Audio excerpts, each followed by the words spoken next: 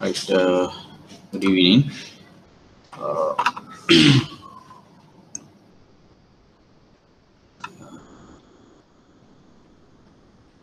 අපි uh, ගිය සතියේ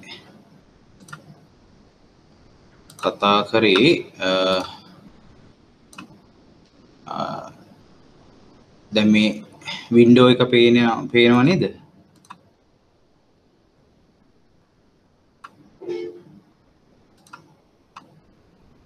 හරි. දැන් ඒක හැටියට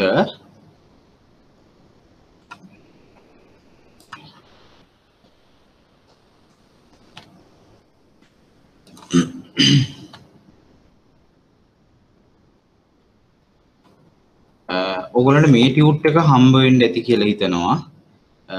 ප්‍රාග්ධන වියහය කියන ටියුට් එක. ඒ අපි කතා කරන්න ඉස්සල්ලා කලින් එකේ අපි පොඩි හෝම්වර්ක් එකක් අපි ඩිස්කස් කරගත්තා කරන්න ඔගොල්ලගේ මං හිතනවා පොඩ්ඩක් එක කරගත්තොත් ඔගොල්ලන් මේ ඕකේ නම් අපිට එක ගැන කතා කරන්න පුළුවන්. හැබැ ඔගොලන් ලියලා තියන්න ඕන එක නැත්තං එකච්චර ඉෆෙක්ටව් නෑ. මේක මේ කරනකොට මොකද අපිට ඉන්ටරක්ෂන් එක ගොඩක් අඩු හින්දා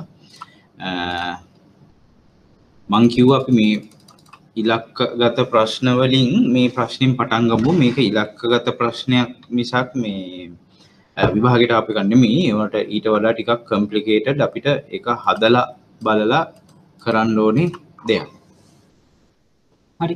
දැන් ආයෝජන බැංකුවක ව්‍යාපාර කොටස් පිළිබඳ හරි සාමාන්‍ය මූල්‍ය උපදේශකයකු ලෙස මෙන්න මේ කියන ABC කියන අරමුදලේ කොටස් ආයෝජනය සම්බන්ධයෙන් උපදෙස් ඉල්ලලා තියෙනවා ඕගොල්ලන්ගේ. ඒත් එක්ක දත්ත ටිකක් දීලා තියෙනවා. මේක මේ පරණ දත්ත. දැනට අරන් තියෙන්නේ මොකද දැන් ගොඩක් මාකට් එක පල්ලෙහාට ආපු හින්දා ওই පරණ දත්ත වලින් කරේ. එතකොට අපිට දීලා තියෙන දත්ත මොනවද සහ ඒ දත්ත බලන ගමන් අපි බලන්න ඕනේ අනිවාර්යයෙන්ම මොනවද මේකෙන් අහන්නේ කියලා. අවුට්පුට් එක මොකද්ද? නැත්තම් ප්‍රශ්නේ ඇනලයිස් කරලා වැඩක් නැහැ. උත්තරේට මොකද්ද ඕනේ කියලා අහන්න බලන්නේ නැතුව. ආයෝජනය සඳහා මොන කුමන අංශ? අපි අංශ කතා කරා 20ක් කොටස් වෙළඳ පොලේ ලයිස්තුගත වෙලා තියෙන ඒ කියන්නේ බෝඩ් එකේ ලිස්ට් වෙලා තියෙන සෙක්ටර්ස් 20ක් ගැන අපි කතා කරා ස්ටොක් මාකට් එකේදී කොටසේදී. එතකොට කුමන අංශ සහ ඒ අංශවල කුමන සමාගම්වල කොටස් ඔබ විසින් නිර්දේශ කරන්නේද? මිලදී ගැනීම සඳහා. මොකද මේක මේ ආයෝජකයා එන්නේ කොටස් ආයෝජනය සම්බන්ධයෙන් උපදෙස් පතන. තෝට එයාගේ ප්‍රයිමරි කන්සර්න් එක බයි. එන? මිලදී ගැනීමක් සිද්ධ කරන්න.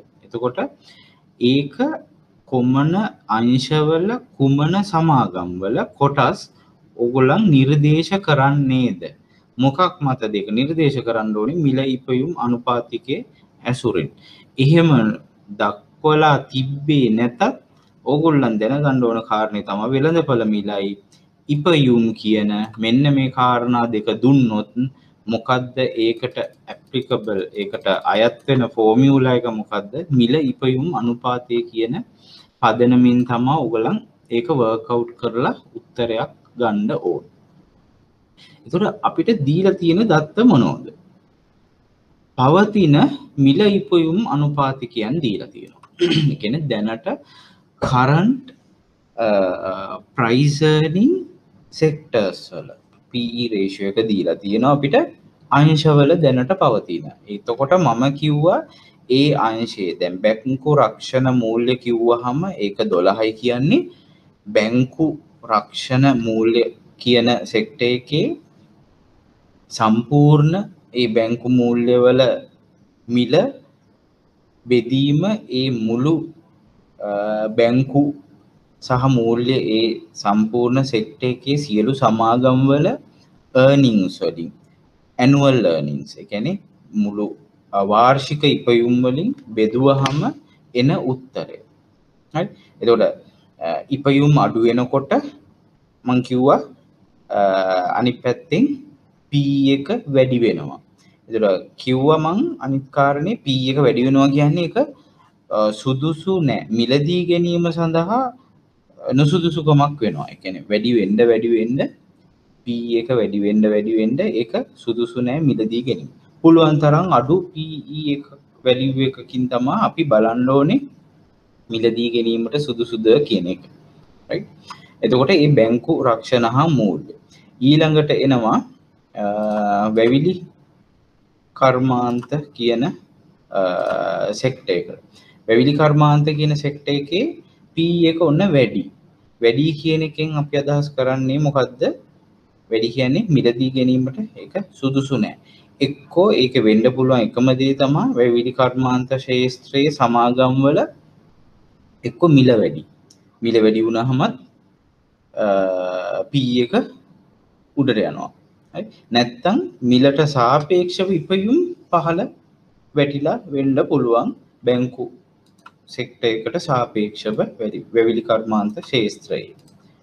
රයිට්. දර ඉදිකිරීම සහ ඉංජිනේරුත් 12ක් කියලා කියනවා. ඒ කියන්නේ ඒකෙත් සාමාන්‍යයෙන් මොඩරේට් ගානක් අපිට අංශ අතර අපිට කම්පයා කරන්න බෑ මොකද බැංකු ආරක්ෂණ වල ඒ සෙක්ටර් එකේ පවතින earnings සාමාන්‍ය වශයෙන් වැඩි. එතකොට earnings වැඩි වුණාම P එක ටිකක් අඩු වෙන්න ඕනේ. හැබැයි වෙළඳපොළ මිලත් ඒකට සාපේක්ෂව ගොඩක් වැඩි මිලට තමා ට්‍රේඩ් වෙන්නේ, ගනුදෙනු වෙන්නේ බැංකු වගේ සමාගම් වල බැංකු සමාගම් උදාහරණයක් වශයෙන් ටොප් බෑන්ක්ස් වල NDB, HNB, කමර්ෂල් වගේ ඒ ටොප් බෑන්ක්ස් වල මිල සාමාන්‍ය වශයෙන් ඉහලාගේකට මේ වෙන්නේ නිංස් වැඩි හින්ද එකෙන ඉපයුම් වැඩි සහ සාපේක්ෂව ගත්තහම ස්ථාවර ඉපයුමක් ඒගොල්ලන් වාර්තා කරන හින්දා.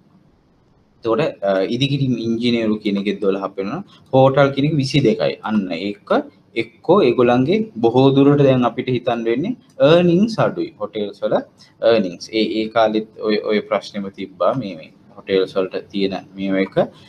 ඊට සාපේක්ෂව මිල අගයන් වැඩි අගයක් පෙන්නනවා. එන්න එක හිද තමන් විසි දෙකක් විතර පෙන්න්නන්නේ එක.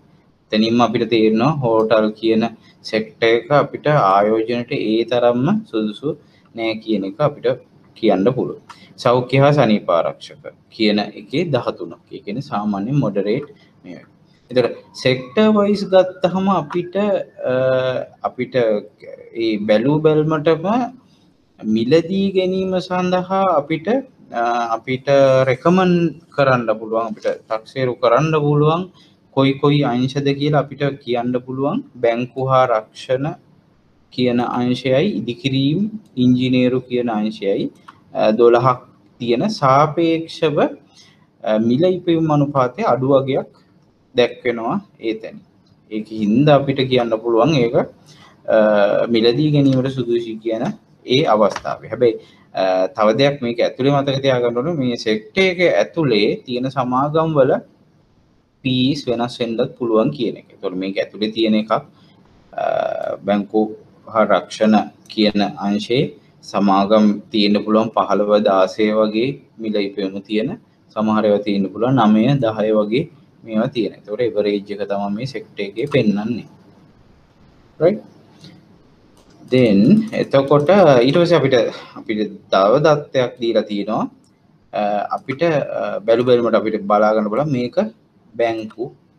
බැංකු දෙවනි එක තුන්ගනි එක ප්ලාන්ටේෂන් එකන වැවිලි කියන සෙක්ට එකට අයිති වැවිලි කර්මාන්ත.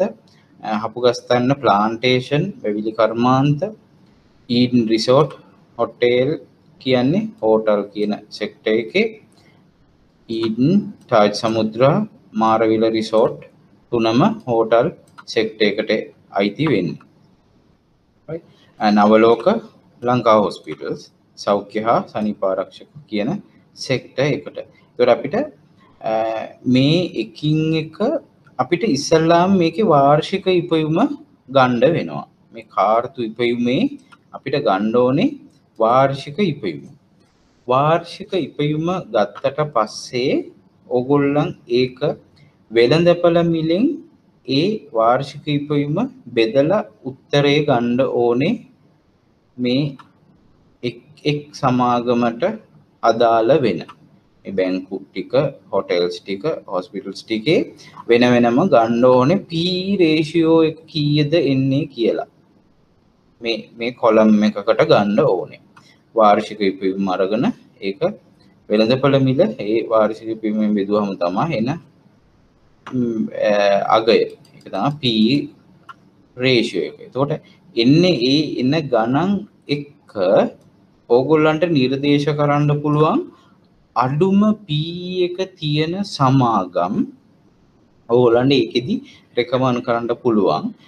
ඒ අතර තියෙන්න පුළුවන් බැංකු හා රක්ෂණ මූල්‍ය එකේ වැඩි P එකක් පෙන්නන සමාගම් තියෙන්න පුළුවන් අඩු P එකක් තියෙන සමාගම් පෙන්වන්න පුළුවන්. එතකොට අපිට බැංකු ආරක්ෂණ මූල්‍ය අපිට රෙකමන්ඩ් කරන්න පුළුවන් බයි කරන්න ඒක ඇතුලේ උදාහරණයක් වශයෙන් කමර්ෂල් බැංක් කියන එක P එක 10ක් පෙන්වනවා නම් අපිට අන්න ඒක ඒ අංශය ඇතුළත අපිට රෙකමන්ඩ් කරන්න පුළුවන් කමර්ෂල් බැංක් කියන එක.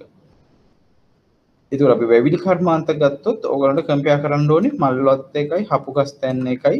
කම්පයා කරලා ඕගොල්ලන්ට උත්තරයක් ගණ්ඩ පුළුවන්. මේ සෙක්ට පී එකට වඩා අඩු පී එකක් එතන තියෙනවාද? එහෙම වුණොත් ඒක රෙකමන් කරන පල හැබ ඒ මේ දල වශයෙන් මෙන්න මේ දෙක රෙකමන් කරන්න බෑකයි හෝටල් කියන එකයි සෞඛ්‍ය සනිපාරක්ෂ කියන එක තොර මේ දෙක ඇතුළත අඩු පී තියෙන මොනවා හරි මේකෙන් තියෙනවන ඔගොලන් රෙකමන් කරන්න පුළුවන්. සමහට පී එක දොළහ එකොළහ වගේ එන සමාගම් මේ ටිකෙත් තියෙන්ට බැරි නෑ. මොකද මේක පෙන්න්නන්නේ එවරේජ් එකක් හින්ද සෙක්ට එක වරේජ් එක හින්ද. තොට අන්නේ එන්න ඒ ටික තමා ඔගොලන් නිර්දේශ හැටියට ඉදිරිපත් කරන්න ඕන. රයි් අන්න එහෙම තමයි ඒ ඒ උත්තරේ කම්පෝස් කරන්න ඕනේ. රයි එතොට මම මේකත් කරන්න කිව්වා. මංහිතන් ඇද ඔන්ලයින් ටිකක් අඩුයි. කරමු එතොට පහත දැක්වෙන ඒවා කෙටියින් හඳුන්වන්ඩ තියෙනවා. ඒක ආයෝජකයකුට කොහොමද වැදගත් වෙන්න කියන එක අපිට ඒකෙදි අපි රිලේට් කරන්න වෙනවා. ආයෝජකයකුට කොහොමද ඒක වැදගත් වෙන්න කිය හරි කොටස් වෙළඳපොළ දර්ශක. අපි එක කතා කරා. දර්ශක දෙකක් තියෙනවා. සියලු කොටස් මිල දර්ශකයේ S&P 20 කියන දර්ශකය. එතකොට ඒ වගේ මොනවද ආයෝජකයෙකුට තියෙන වැදගත්කම? ඕගොල්ලන් මේක ලියලා නම් ඒකත් එක්ක කම්පැරිසන් එකක් කරලා ඕගොල්ලන් බලන්ඩ මේක මේ කොහොමද අඩුපාඩු මොනවද මං කියනේ වගින් ඕගොල්ලන්ගේ භාෂාවෙන් ඔගොල්ලන් හිතල ලියන්න ඕනේ. ඒකට ලයින් එකක්. නැත්තං අලුතෙම මේ කරන ඔගොල නෝට්ටයක් පොඩක් අහගණඩ නැත්තම් පවගිය නෝත්සල මේ ටික එමම තියෙනවා. හැබැයි මේ කොටස් වෙළඳපළ දර්ශකයෙන් ආයෝජකයකුට තියෙන වැදගත්කම මොකදන්න ඒක ටිකක් විශේෂයි. වැදගත්කමක් හෝ දෙකක් ඕගොල්ලන් ඒකට නිර්දේශ කරන්න ඕනේ. එතකොට දර්ශකවලින් මනින්නේ වෙළඳපලේ දිශාව අපිට බලන්ඩ පුළුවන් වෙළඳපලේ පසුගිය විචලනයන් අඳුනාගණ්ඩ වෙළඳපළ දර්ශක උපයෝගී කරගන්න. උදාහරණයකට ඔය අප ටිකක් ඈතට කියොත් දෙදස් නමේ දී වගේ මේ යුද්ධ වගේ කාලය තුළ දර්ශකය පල්ල හටාවයි දසාර්සය අසුවකට විතර ඕල්ෂය ප්‍රයිසින්ඩෙක් පල්ල හටාව. ඊට පස්සේ උඩට ගියා හද්දාස් හත්සීයකට වගේ දෙදස් දහතුන දා හතර වගේ කිට්ටුවෙනකොට ඊට පස්සේ ආපහු පන්දාහ වගේ ලෙවල් එකේ තමා දැන් පවතින්නේ පොඩි පොඩි පොයින්් දාහක් අතර වගේ උඩ පහල යෑමක් සිද්ධ වෙන්න. තකොට අපිට දර්ශකයින් පසුගිය වෙළඳපල තත්ත්වය වෙළඳපලේ විකාශය බලන්ඩ පුළුවන් කොහොමද වෙළඳපලේ නැගීම සහ බැසීම සිද්ධ වුණේ කියලා. තොට තව බලන්ඩ පුළුවන් ඒ දර්ශකයෙන් අද වෙළඳපල තත්ත්වය ගැන අවබෝධයක් ගන්න පුළුවන්. අනිත්කාරණය ඉදිරි වෙළඳපොළ දර්ශකය පදනම් කරගෙන ටෙක්නිකල් ඇනලිසිස් අපි කතා කරා fundamental and technical analysis technical analysis කරන්න වෙළඳපොළ දර්ශකය හොඳටම ප්‍රයෝජනයට ගන් ගත යුතු තැනක් වෙනවා. මොකද ටෙක්නිකල් අපි කිව්වා මාකට් එකේ ට්‍රෙන්ඩ් එක තමා මාකට් එකේ දිශාව තමා එක බලන්නේ මා. වෙළඳපළ මිල අනුව තමා බලන්නේ. එතකොට ඒකට පදනම් කරගන්නේ වෙළඳපළ දර්ශක. ඕල්ෂය ඇන් SNP එක තමා අපි බේස් කරගන්නේ ඒක මේ ටෙක්නිකල්ස් බලන්ඩ ඒ අනුපාතර සකස් කරගන්න ඒක තමා උපයෝගි කරන එතකොට වෙළඳපලේ අනාගත පුරෝකතනයන් කිරීමට වෙළඳපළ දර්ශක උපයෝගී කරගන්න ටෙක්නිකල් ඇනලිසිස් වලට ගන්න තොට අන්නේ වගේ කීපයක් තියෙන ආයෝජකයකුට කොහොමද ඒක වැදගත් වෙන්නේ? අනි පැත්තෙන් බලන්ඩෝනේ තැරවකාර ආයතනයකට විශ්ලේෂකයකුට කොහොමද වෙළඳපළ දර්ශකය මේ ප්‍රයෝජනයක් විදිහට යොදාගන්න කියන ඒවා අන්න ඒවා ඔක්කොම ඕල්ලං එක දැනගෙන ඉන්ඩෝනී හැම පැත්තෙන්ම උත්තරයක් කම්පෝස් කරන්න. ඊළඟ වෙළඳ බල අංශාර අපි කතා කරපු මේවා. එතකොට උදාහරණයක් දෙකක් දීලා ඔගලට කියන්න පුලා වෙළඳපුල අංශ කියන්නේ ඒ සමාගම් විවිධ අංශවලට වෙන් කරලා අංශ විස්සක් කොටස් වෙළඳපලේ පුවරුවේ ලැයිස්තු ගත කරලා තියෙනවා. ඒ අංශ පුවරුවේ ලැයිස්තු ගත කරලා තියෙන දෙසි අසු වටක් වෙච්ච ඔක්කොම සමාගම් මේ වගේ අංශ විස්සක් යටතේ වර්ග කරලා තියෙනවා. ඒක විශ්ලේෂණයේ පහසුව තකා තමා ඒ වගේ අංශ මේ කල තියන ඔක්කොම එක ගොඩි තිබොත් අපිට බලන්ඩ බෑ සෙක්ට වයිස් කොහොමද ප්‍රෝග්‍රේෂන් එකක් එකන නැගීමක් හෝ බැසීමක් කොහොමද අංශ ආංශිකව අපිට විශ්ලේෂණය කරන්න බැරිවෙනවා එක නැති වුණොත්. එතකොට උදාහරණයක් විදිහට කියලා ඔගලට අංශ කීපයක් එක දාන්න පුළුව අංශ විස්ස මොකක්ද කියන එක වගේ ප්‍රක්ටිකල් නෑ අහන් අහන්න බොහෝ දුරට.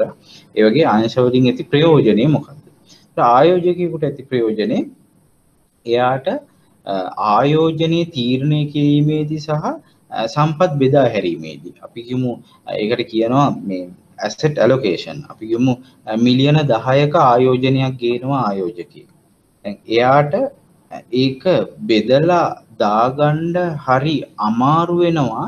මුළු දෙසි අසූ අටම එක බෝඩ් එක කිසිම බෙදීමක් නැතුව තිබ්බොත්. ඒකසේ බැංකුවක් මේ ට්‍රේඩ් වෙනවා ප්ලාන්ටේෂන් එක ට්‍රේඩ් වෙනවා ඩයිවර්සිෆයිඩ් හෝල්ඩිං එකක් ට්‍රේඩ් වෙනවා. එතකොට එහෙම උනහම එයාට හරි අමාරුයි සෙක්ටවයිස් අපි ඒ සෙක්ටර්ස් කොහොමද වැඩ කරන්න කියන එක.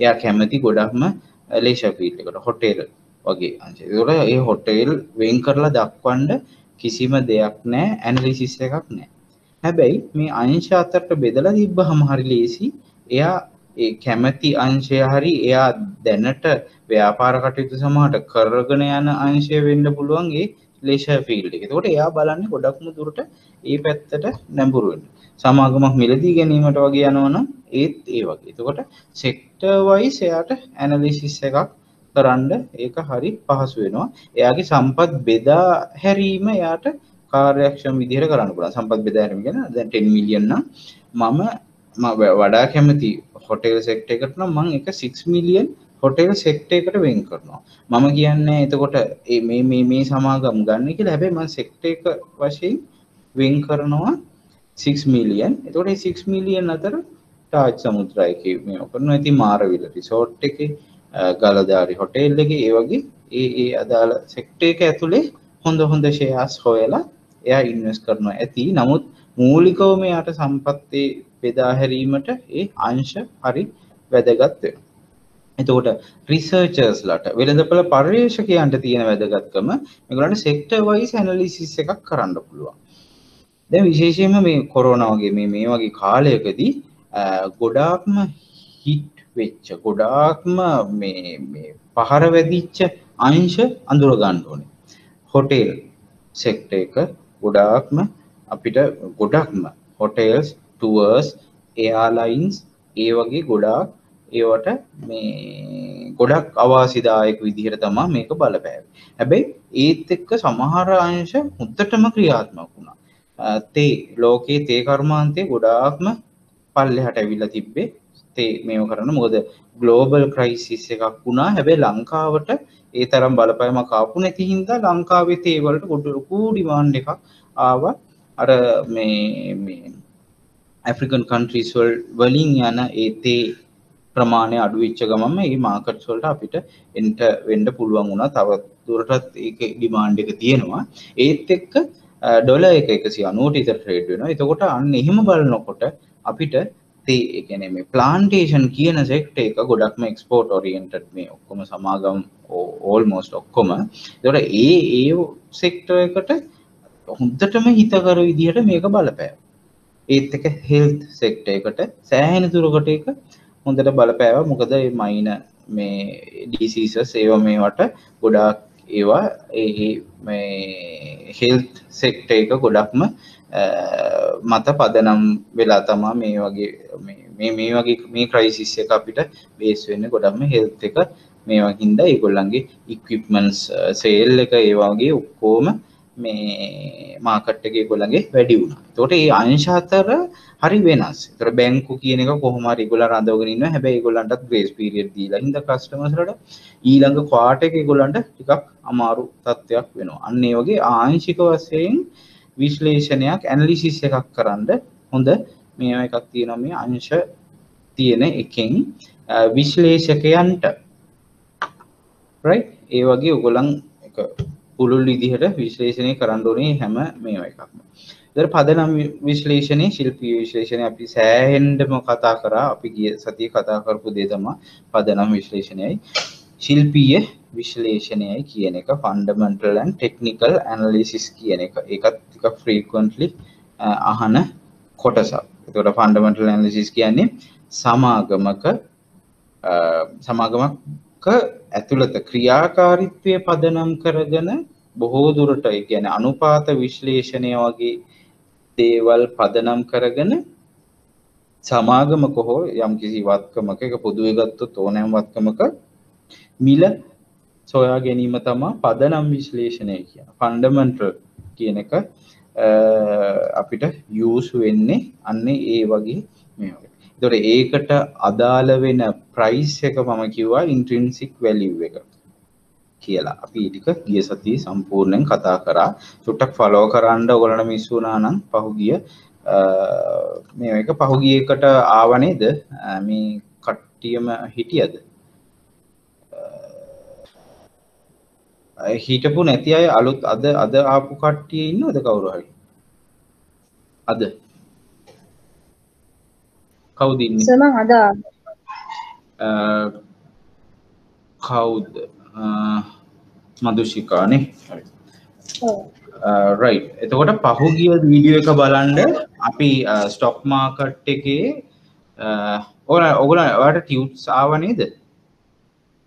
තිබා ඒටිකම තිබ්බන. පහුගීවත් බලන්ඩ ටියව් එකට පැරලල් මේ වීඩියෝ එක යන්ඩ මෝනේ නැත්තං අමාරුයි කැචප් කරන්න. මුද ටිකක් වේගෙන් යනවා මේ කාලේ ටිකක් ලිමිටඩ් හින්දා.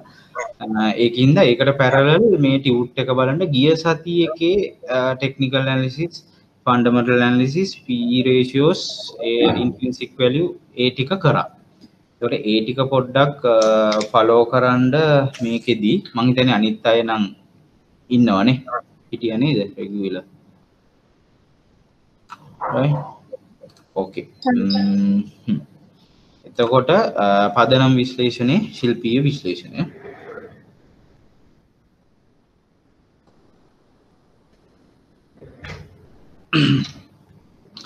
එතකොට මේ ශිල්පීය විශ්ලේෂණය කියන්නේ මන්දැන් කලින් කිව්වා ටෙක්නිකල් ඇනලිසිස් අපි uh, සමාගමේ uh, ව්‍යාපාරයේ වෙළඳපල මිල. වෙළඳපල මිල එක ඉතිහාසයත් එක්ක ඒ ඒ දත්ත උපයෝගී කරගෙන යස් කරලා අපි අදාළ සමාගමය හෝවත්කමේ මිල තීරණය ඩිටමයින් කරන එක තීරණය කරන එක නිශ්චය කරන ක්‍රමය තමා ශිල්පීය විශ්ලේෂණය කිය එතකොට ඒකට කිව්වා තව ගොඩාක් දත්ත ඕනේ. කෙන මිල මේ පාස්ට ඩේට කියන එක. පහුගිය දත්ත විශාල වශයෙන් ඕනේ. අන්න ඒවා හොයා ගැනීම අමාරු හින්දා ශිල්පී විශ්ලේෂණය ටිකක් අමාරුයි. හැබැයි ටෙක්නිකල් ඇනලිස්ට්ලා වෙනමම ඉන්නවා. ඒගොල්ලන් ඒ ටෙක්නිකල්ස් ගොඩා කැනලයිස් කරලා පහුගිය ට්‍රෙන්න්ස් ට්‍රෙන්් එක ට්‍රෙන්් එක ඇනලයිස් කරන්නේ. මං කිව්වා එක ට්‍රෙන්ස් කීපයක් ඒගොල ඇනලයිස් කරන විදිහ. ඒ ට්‍රෙන්න්ස් ඇනලයිස් කරලා තමා ඉස්සරහ කාලය කොයි වගේ ට්‍රෙන්් එකක් වෙයිද කියන එක ඒකොල්ලන් මේව කරන්න. පහුගිය එතකොට ගොඩාක්ම පෙස්ටිල් ෆැට්ට එකන සාර්වාර්ථික දත්ත ගොඩාක් මේවට යොදා ගැනෙනවා. එක ඉන්ට්‍රස්ටේට් එක අඩු වෙච්ච කාලවල්ල මාකට් එක උඩට ගිහිල්ලා තියෙනවා. තොට එකොලා උඩට ගියාට මෙන්න මේ කාලි උඩට ගියා කිව්වල නවතින්න ඒ කාලේ කොහොමද ඉකොනොමීකේ හැසිරීම? ගවමන් පොලිසිස් මොනවද චේන්ජුනේ ටැක්ස් පොලිසිස් මොනවද චේන්ජුනේ නැත්තං යුද්ධ හරි මොනවාහරි ලොකු ලොකු ඩ්‍රව් එකැනමේ නියං තත්ත්වයක් තිබ්බද? මොනොහරි ඒ වගේ තිබ්බද කියලා ඇනලයිස් කරලා එතකොට ඒක ගොඩක්ම සාර්වාර්ථික ඒ ගොඩාක් දත්ත එක්ක තමා ශිල්ප විශ්ලේෂණය යොමු වෙන්නේ. පදලම් විශ්ලේෂණය අදාළ සමාගමේ ක්‍රියාකාරිත්වය විතර යන්න එකයි ඔය දෙකේ වෙනස. රෝක ආයෝජකයකුට යොදාගණ්ඩ පොදු දෙයක් ඒක. මොකද තීරණ ගැනීමති මොන සමාගම්ද මිලදී ගැනීමට සුදුසු විහිනීමට සුදුසු නැත්තං තියා ගැනීමට. මංකිවා ඩිසිෂන් තුනයි තියෙන්නේ. කොටස් වෙළඳ බල සම්බන්ධ. එතොට විශ්ලේෂණය කරන්නේ ඔක්කොම පයිනල් අවුට් පුට් එක තමා ගන්නවද විකුණනෝද තියාගන්නවද කියන එක. එතකොට ඒ ඇනලිසිස් වල ඒක මේ ආර්ජකකුට ප්‍රයෝජන වෙන්නේ අන්න ඒ ආකාරයෙන් ඔය දෙකම. එතොට හැබැයි කාට රැකමන් කරනකොට රැකමන් කරන්න ඕනේ ඔය දෙකේ මික්ස් එකක් ගණ්ඩ කියන එක. මං ඒකයි කිවේ පීරේෂයගේ තියෙන වැදගත්කම්. එක මං ගිය සති ටිබුට් එක කර. තර ආංශික මිලයිපීම් අනුපාතය අපි කරා. ඒ අදාළ සෙක්ටර්ස් මේ සෙක්ට එකට අදාළව මිල ඉපයුම කීයද කියලා. මිල බෙදීම ආයතනයේ සමාගමේ ඉපයුම බෙදුවහම තමයි එක එන්නේ එතකොට අපි ඒක විචලනය ඒක වෙනස්වීම වොලටිලිට එක අපි බලන මින්මත් අපි කිව්වා. ගැන මිල වැඩි වුණොත් කොහොමද? ඉපයුම් අඩුනොත් කොහොමද? මිල වැඩිවීමට සාපේක්ෂව ඉපයුම් අඩු වේගයකින් අඩුනොත් සොරි වැඩිවුණොත් කොහොමද කියන එක. එක මැතමටිකල් අපි මේ එක අපි කතා කරා ගිය සතිය පොඩ්ඩක්. ඒක බලන්න වීඩිය එක. ඒක මේ වුණ. තොට ආංශික මිලපයුම් අනුපාතිකයත් ආයෝජකයකුට වැදගත්තෙන්ට පුළුවන් සෑහෙන්ඩම මොකද එයාට නිවැරදි මිලදී ගැනීමක් සෝ හෝ විකිනීමක් සිදු කිරීමට ඒ අදාළ අංශයේ ක්‍රියාහාරිත්වය බලන්ඩ ආංශික මිලයිපුම් අනුපාතය අතිශයිම වැදගත්වෙනවා ඒක අනිත්‍යක රිලේට් වෙනවා. පදනම් විශ්ලේෂණය ශිල්පී විශ්ලේෂණය කියන ඇනලිසිස් දෙකටම. එතකොට එක මිලයිපුම් අනුපාතයට පොදුයි. එතකොට ඔගොල්ලන් ඒ විදිහට උත්තරේ කම්පෝස් කරන්න ආංශික මිල ඉපයුම මාකට් පිහි ඒ කියන වෙළඳ පල මිල ඉපීම මංකිව්වා රටේ සමස්ත මිල ඉපීම ඒක. නැත වෙළඳ පලක සමස්ත මිල ඉපයුම මංකිවා ෆොරින් ඉන්වස්මන්ස් එන්න ගොඩක්ම මාකට් පී එක ඉස්සල්ලා බලලා කියලා. ඊළඟ එක කොටස් තැරව්කාර ආයතන මං ගැන සම්පූර්ණ විග්‍රහයක් කරා. එතොට ආයෝජිකකුට වැදගත් වෙන ඒවා ඒක තියෙන්නේ ඇත්තටම තැරව්කාර ආයතන සපයන සේවාවන්ගේ. මොකක්ද තනිකරම කොටස් මිලදී ගැනීම එකකවුන්ස් ඕපන් කරන එක ට්‍රන්සක්ෂන් සිද්ධ කරන එක සෙටල්මන්් ඊට අමතරව ගොඩක්ම අමතරව කරනේවා මේ විශ්ලේෂණය සිද්ධ කරනවා තැරව්කාර ආයතන මගින්. එතකොට ආයෝජකයෙක් හැටියට හරි ඩිසිෂන් එකක් ගණ්ඩ පුළුවන් ඒ කියන රිසර්ච් රිපෝට් විශ්ලේෂණ වාර්තා සෙක්ට රිපෝට්ස් මාකට් රිපෝට්ස් යස් කර දෙර කොටස් වෙලද බල යන්නේ හෝ විනිමේ හුමාරු කළම්බ ස්ටොක් එක්ෂේන්ජ් ඒක මොනවද දෙන පහසුකම් කියලා උගල සම්පූර්ණ මේ පාඩමක් කරා මේ විද්‍යෝ කරලා තියෙන්නේ.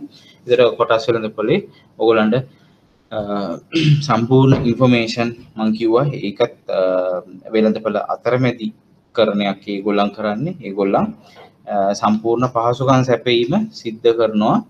කොටස් වෙළඳ පොලේ ගණු දෙනු සහ සෙටල්මන්ට් සඳහා ගණු දෙනු පියවීම සඳහා ෆැසිල්ටීක දෙනවා එගොලන්ට මේ ස්ටොක් මාකට එක වියව් කරන්න. මේක ලොකු බෝල්ඩ එක වියව් කරන්න කොළට පහසුකන් සපයන්න විදිහට ක්‍රියාත්මක වෙනවා. හරි. ඔන්න ඔය ඕක සම්පූර්ණ මං අර කරපු එකේ ඉතාම කෙටියෙන් ඕගොල්ලන්ඩ මතක තියාගන්න පොඩි ෂෝට් ෆෝම් එකකට තමා මං ඕක ටිකක් හදලා තියෙන්නේ. මේකම කොටසක් විභාගෙට ආවා. මං සමහර ඒවා එකතු කරා මේකට. මට ඔය ටිකේ ඔක්කොම කවරේජ් එක තියෙනවා. රයිට් එතකොට අපි මේ මේටි උට් එක ඉවරයි. අපි සෑහෙන ගැඹුරින් එක කතා කරා. ඒ වගේම ටිකක් එන ගොඩක් ටිකක් දුරට එන කොටස් ගොඩක් තියෙනවා. Right. Uh,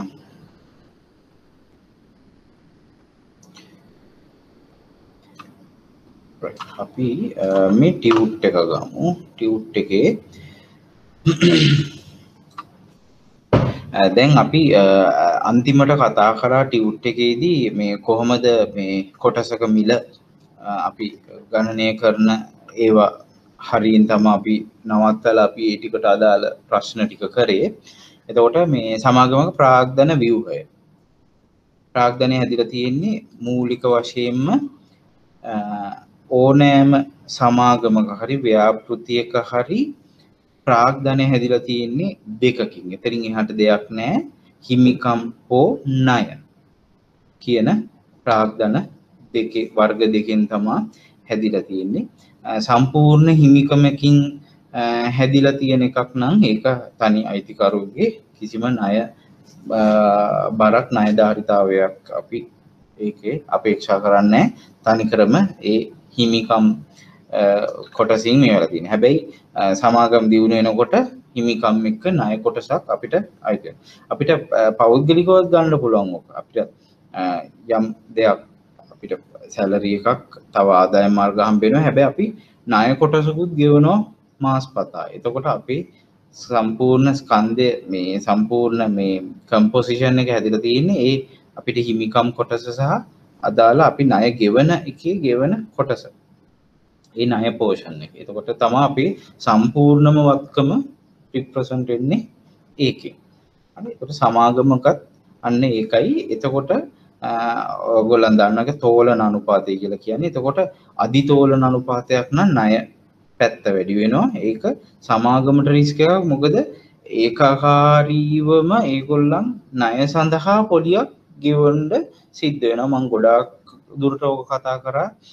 හිමිකම් සහ ණය නිකුතුව නිකුතු කළමනාකරණය කියන පාඩම යටතේ දාම දීර්ඝව මම කතා කරා ඔය හිමිකම් සහ ණය නිකුත් කිරීම සිද්ධ කරන හේතු කාරණා ඉඳන් සියල්ලම මම කතා කරලා තියෙනවා right? එතකොට ඒකේ මික්ස් එක තමයි මේ සමාගමක් ප්‍රාග්ධන ව්‍යුහය කියලා කියන්නේ. එතකොට ඒ ඒකින් අපි ගණනය කරනවා බරිත සාමාන්‍ය ප්‍රාග්ධන පිරිවැය වේට ඩෙවරේජ් කොස්ට of කැපිටල් වැක් එක කියලා කියනවා. පොදුවේ කියනෝ ට්‍රෙෂරි එහෙම ඔකට අහන්ඩ ලැබිල ඇති එක ඉන්නවනම් වැක් එක. හරි? එතකොට එකන බර තැබූ සමාගමක සම්පූර්ණ බර තැබූ ප්‍රාග්ධනයේ පිරිවැය. සාමාන්‍ය අගය තමා මේකින් කැල්කුලේට් කරලා දෙන්නේ. මේකින් ප්‍රශ්න වාර කීපයකදි මහල තියෙනවා. එතකොට සීට පණහක හැටක විතර ප්‍රොබවිලිටි එකක් තියෙනවා. මේ වගේ ප්‍රශ්නයක් අහන්ඩ එතට එක ෆෝමිලා එක වෙන්නේ මේක සරලොම ගත්තොත් අපි සම්පූර් මාකට් වැලිය එක ගන්නේ ඉක්විටි ටෝටල් වැලිව එකයි ඩෙට් ටෝටල් වැලිව එකයි. එකන සම්පූර්ණ නිකුත් කරපු ප්‍රාග්ධනය ලක්ෂය කොටස් ලක්ෂයක් රුපියල් දහය ගානෙ නම් 1 මිලියන් අද ඒ රුපියල් දහය කොටස රුපියල් විස්සනම් 2 මිලියන් එතකොට market value of the equity කියන්නේ 2 මිලියන් මාකට් වැලිය එක බුක් වැලිය එක නෙමෙයි පොත් අගේ නෙමෙයි එකට ගන්න ඩෙට් එකේදී ණය කියන මුළු ණය වටිනාකම කියන එකෙත් same thing ඒකමයි සම්පූර්ණ වෙළඳපළ වටිනාකම. Market value of the debt මේක print කරලා තියෙනවා නම් ඔයගොල්ලෝ සිංහලෙන් ඒක මේව කරගන්න. සිංහලෙනුත් මම මේ පැත්තෙන් දැම්ම එක පොඩ්ඩක් ස්කිප් වෙලා තියෙනවා. එතකොට හිමිකමේ වෙළඳපළගේ ණය වෙළඳපළ අගේ. එකතු කරපුවාම සම්පූර්ණ ප්‍රාග්ධනයේ වෙළඳපළ අගේ තමයි එන්නේ. D+ E කියන එක. එතකොට ඒ කොටසින් ওই බර තැබූ ගාන හොයන්නේ ඉක්විටි එකේ බර තැබූ ගාන තමයි මෙතනින් හොයන්නේ. E එකෙන් ඒ කියන්නේ market value of equity එකෙන් මේ දෙක බෙදලා ඒක වැඩි කරනවා cost of equity එකේ. ප්‍රාග්ධනයේ පිරිවැය ප්‍රාග්ධනයේ පිරිවැය ගණනය කිරීම මං ඊට පස්සේ මං අනිත් ෆෝමියුලා එකෙන් කරනවා. ප්‍රාග්ධනයේ පිරිවැය ගණනය කරලා ඒකින් වැඩි කරන්න ඕනේ. අනිත් එක cost of debt debt එකේ cost එකෙන් ඒක වැඩි කරන්න ඕනේ. එතකොට බරිත සාමාන්‍ය ගේනවා හිමිකම් වල බරිත සාමාන්‍ය ගේනවා ණය වල ණය අපේ ණය පෝර්ට්ෆෝලියෝ එකේ ඒකට අපි මේ ඇඩ්ජස්ට්මන්ට් එක දාන්නේ කෝපරේට් ටැක්ස් එක. ඒ ටැක්ස් එක අපිට ඩිඩක්ටබල්. ඒ කියන්නේ අඩු කළ හැකි දෙයක් තමා මේ ණය ආපසු ගෙවීම කියන එක ගෙවිය යුතු බදු ආදායමින් අඩු කළ හැකි වියදමක් හින්ද තමයි එක මයිනස් ටී කියලා දාන්නේ කෝපරේට් ටැක්ස් රේට් එක. ඒතකොට කෝපරේට් ටැක්ස් රේට් එක වැඩි වෙනකොට අපිට ඇත්තටම ණය තබා ළඟ තබා ගැනීම වාසිදායකයි. මොකද ඒ ගෙවන ණය වාරිකය ගෙවිය යුතු බදු ආදායමෙන් අඩු කරලා පෙන්වන්න පුළුවන්. එතකොට අපිට ගෙවිය යුතු බදු මිල අඩු බදු ප්‍රමාණය රුපියල් වලින් අඩු වෙනවා. ඒකට තමයි මේ ඇඩ්ජස්ට්මන්ට් එක දාන්නේ. මේක පාඩම් කරගන්න ඕනේ. මේක අපි අර මම බෝන් කැල්කියුලේෂන් එක වගේ කොහොමද ආවි කියන එක මම මේ සරලව කිව්වේ. ඒතකොට ඒක ඇරෙන්න ඔයගොල්ලෝ මේක මේ පාඩම් කරගෙන තියාගන්න ඕනේ. ඒත් එක්ක මං අර ටියුට් එකට ටක් ගාලා ස්විච් වෙන්න වෙනවා. මොකද ඒකෙදි මට ඕනේ ප්‍රාග්ධනයේ පිරිවැය හොයන්ඩ ක්‍රමය මෙන්න මේක. කැපිටල් ඇසෙට් ප්‍රයිසිම් මොඩල් කියන එක ක්‍රමයක් තමා කැපෙම් කියලා අඳුන්වන්නේ එතකොට ප්‍රාග්ධනවත්කම් මිල කරන සූත්‍රය තමා මෙතනින් පෙන්නන්නේ මේක මං සිංහලෙන් උද්දාලා තියෙනවා. ප්‍රාග්ධනවත්කමේ පිරිවැය. එකන පොකට කොටසක පිරිවැය. කොටසක පිරිවැය තමා මෙතනින් අපි ගන්න. ඒ අදාළ කොටසේ පිරිවැය. එතකොට අපි ඒක ඉස්සල්ලාම් පෙන්වන අවදානම් රහිත අනුපාතය. ඒක බොහෝ දුරට වෙන්න පුළුවන්. මම කතා කරා මේ ඉන්ස්ට්‍රුමන්ට්ස් රීපර්චස් රේට් එක රිපෝ රේට් එක ගවර්න්මන්ට් රිපෝ රේට් එක හරි නැත්තම් ට්‍රෙෂරි බිල් රේට් එක. තමා අවදානම් රහිත අනුපාතය කියන්නේ. රජයේ අනුපාතය. රජයේ ට්‍රෙෂරි රේට් එක.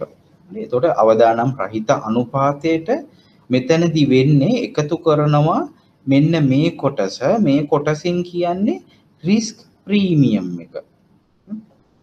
ඒගැන අපි අවදානමක් නොගන්න තත්ත්වයේ ඉඳම් මංකිව්වා අර රෙකමන් කරනකොට රිටයි වෙච්ච කෙනෙකුට අපි කොහොමද ආයෝජනයක් රෙකමන් කරන්න. අන්න ඒ තැන තමා ආර්F කියන්නේ. අවදානම් රහිතන් ඊට අමතරව අපි ඇඩිෂනලි අමතරව ගන්න රිස්ක එක තමා මෙතන ගලපලා තියෙන්නේ. ඒකට අරක එකතු කරපු හම අන්නර ප්‍රාග්ධනයේ පිරිවැය ප්‍රාග්ධනයේ මිල එනවා. ඒ අදාළ කොටසේ අපිට පිරිවැය තක්සේරුවක් කරගන්න පුළුව එතකොට බීට එකින් කියන්නේ අවදානම කියන එක ඇත්තරම එකන වොලටිලිට එක. ඒක මම සරලව කියන්න සමට බීටා කියන එක විතරක් අහලා තිබ පොඩි කිටි ප්‍රශ්නයක්. ඔගලට සොරි බෝඩ් එක පේනවාද?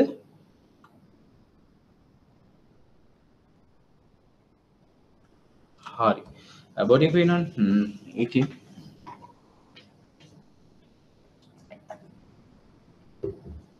ඉති බීට කියන එක බින්දුව එකයි අතර තියෙන්න පුළුවන් නැත්නම් එකට වඩා එකට වඩා වැඩි වෙන්න පුළුවන් එකට වඩා වැඩි කියන්නේ high risk එකයි බින්දුව අතර කියන්නේ පීට කියන්නේ වෙළඳපලේ විචලනයට සාපේක්ෂව අදාළ කොටසේ විචලනය බිමින්.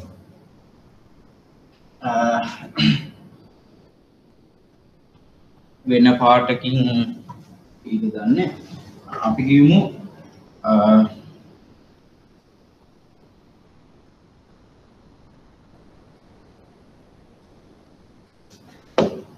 week 1 week 2 week 3 සති තුනක් අපි ගත්තා.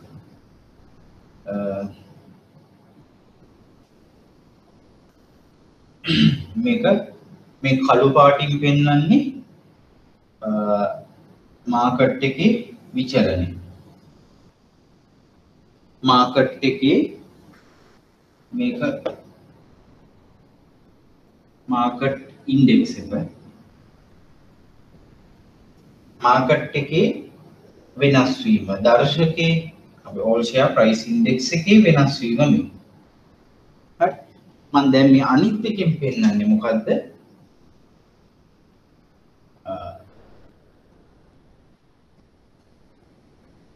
මේ අපි කියමු ජෝන් කීල් සමාගම. හරි. දැන් මේ වගේ තත්ත්වයක් මේක මෙච්චර දුරකට අහන්නේ මම නිකන් මේක චූටි එක්ස්ප්ලනේෂන් එකක් කරන්න.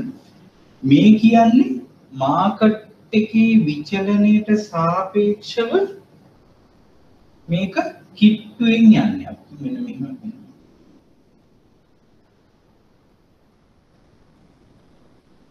පොඩි වෙනස්කමක් වුණාට මාකට් එකේ විචලනයට ගොඩාක්ම සමානුපාතිකයි.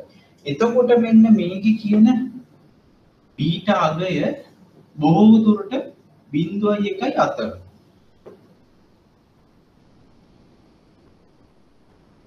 හරි. එහෙම තත්ත්වයක් එන්න ඕකම ගත්තු පොඩ්ඩක් මම මෙහෙට ගන්නම්. මේකමයි. හරි. මාකට් මාකට් එක. මාකට් එක මෙහෙම යනවා.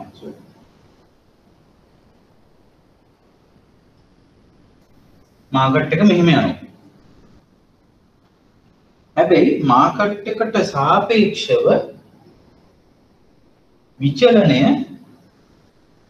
ඔන්න ඔන්න. මේ කියන අපි කියමු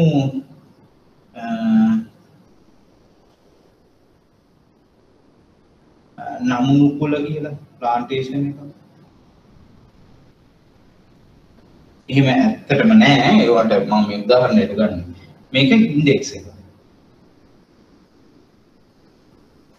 රයිට් මාකට් එක මෙහෙම යනවා. හැබැයි මේ මාකට් එකේ ඉන්ඩෙක්ස් එක මේ විදිහට ගියාට මේක හරි වොලටයිල් මේ මාකට් එක චුට්ටක් උඩට යනකොට මේක 100ට මේක පහක් විතර යනකොට මේක 115ක් විතර ගිහින් වැටෙනකොට ගොඩාක් වැටිලා. එකපාරට පොඩ්ඩක් ෆ්ලැට් වෙනකොට මේක වැටිලා. ආයෙ හැබැයි යනකොට මාකට් එක අප් වෙනවා මේක ගොඩක්ම අප් වෙනවා. අන්න මේ වගේ එකක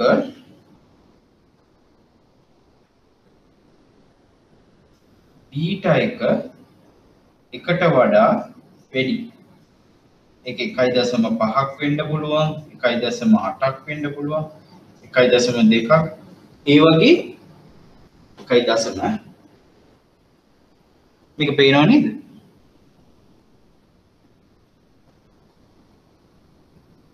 පේනවද?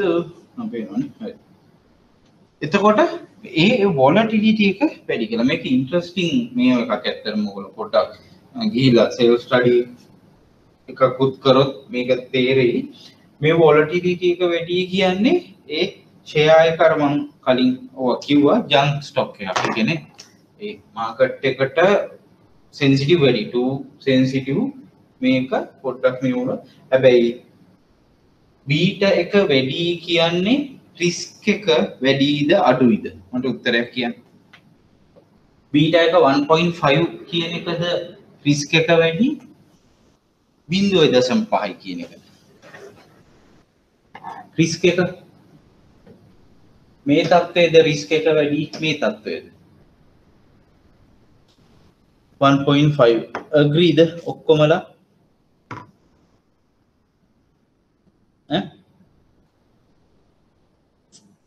මයි කොන් කරලා කිවත් කමන්න. තේරුම් නැත්තං ඒත් කිවත් කමන්න.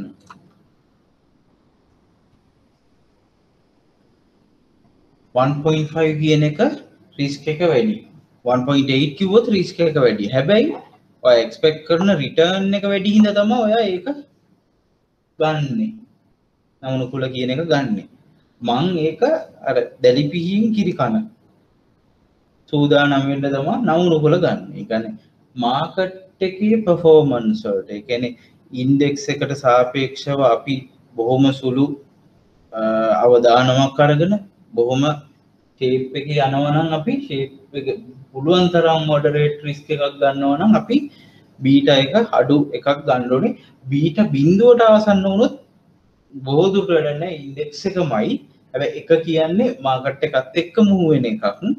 එතකොට අපි ඊට වඩා වොලටිවිටික අපි මාකට් එක ඉන්ඩෙක්ස් එකට වඩා යමක් අපි බලාපොරොත්තු වෙන චැලෙන්ජ එකක් ගන්නවා. මාකට් එක පොඩ්ඩක් යයි කියලා හිතනවා. හැබැයි මට හොඳට අමතර සල්ලි තියෙනවට ප්‍රශ්යන්නේ මට මේක මේ රිස්කිට් ගණ්ඩ පුළුවන් කියල් දාන තත්වේ තියෙනවන මෙන්න මේ කියන බීට වැලිව එකට යන්ඩ පුළුවන්. තයි මං ඉදෙන එක තේරුණා කියලා අපි මේකට ගියොත් ඒ බෝඩ් එක තියෙන එක ලියාගණ්ඩ ඕන්නම් ඕගොල්ලන්ටම විනාඩියක් දෙන්නම්. පොඩ ඔගලන් පොඩි පුඩ්ඩක් අමතර දෙයක් විනාඩියක් කරන්න right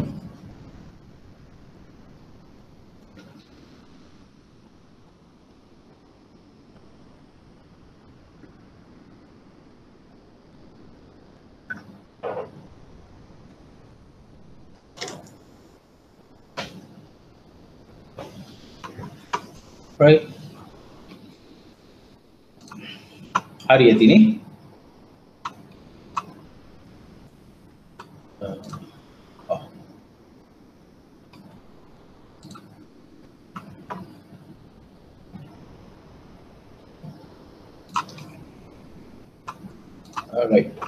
එතකොට මේකේ එතකොට ඊළඟ බීට එක එතකොට ඒ වොලටිලිට එක එකින් වැඩි කරනවා මොකක්ද?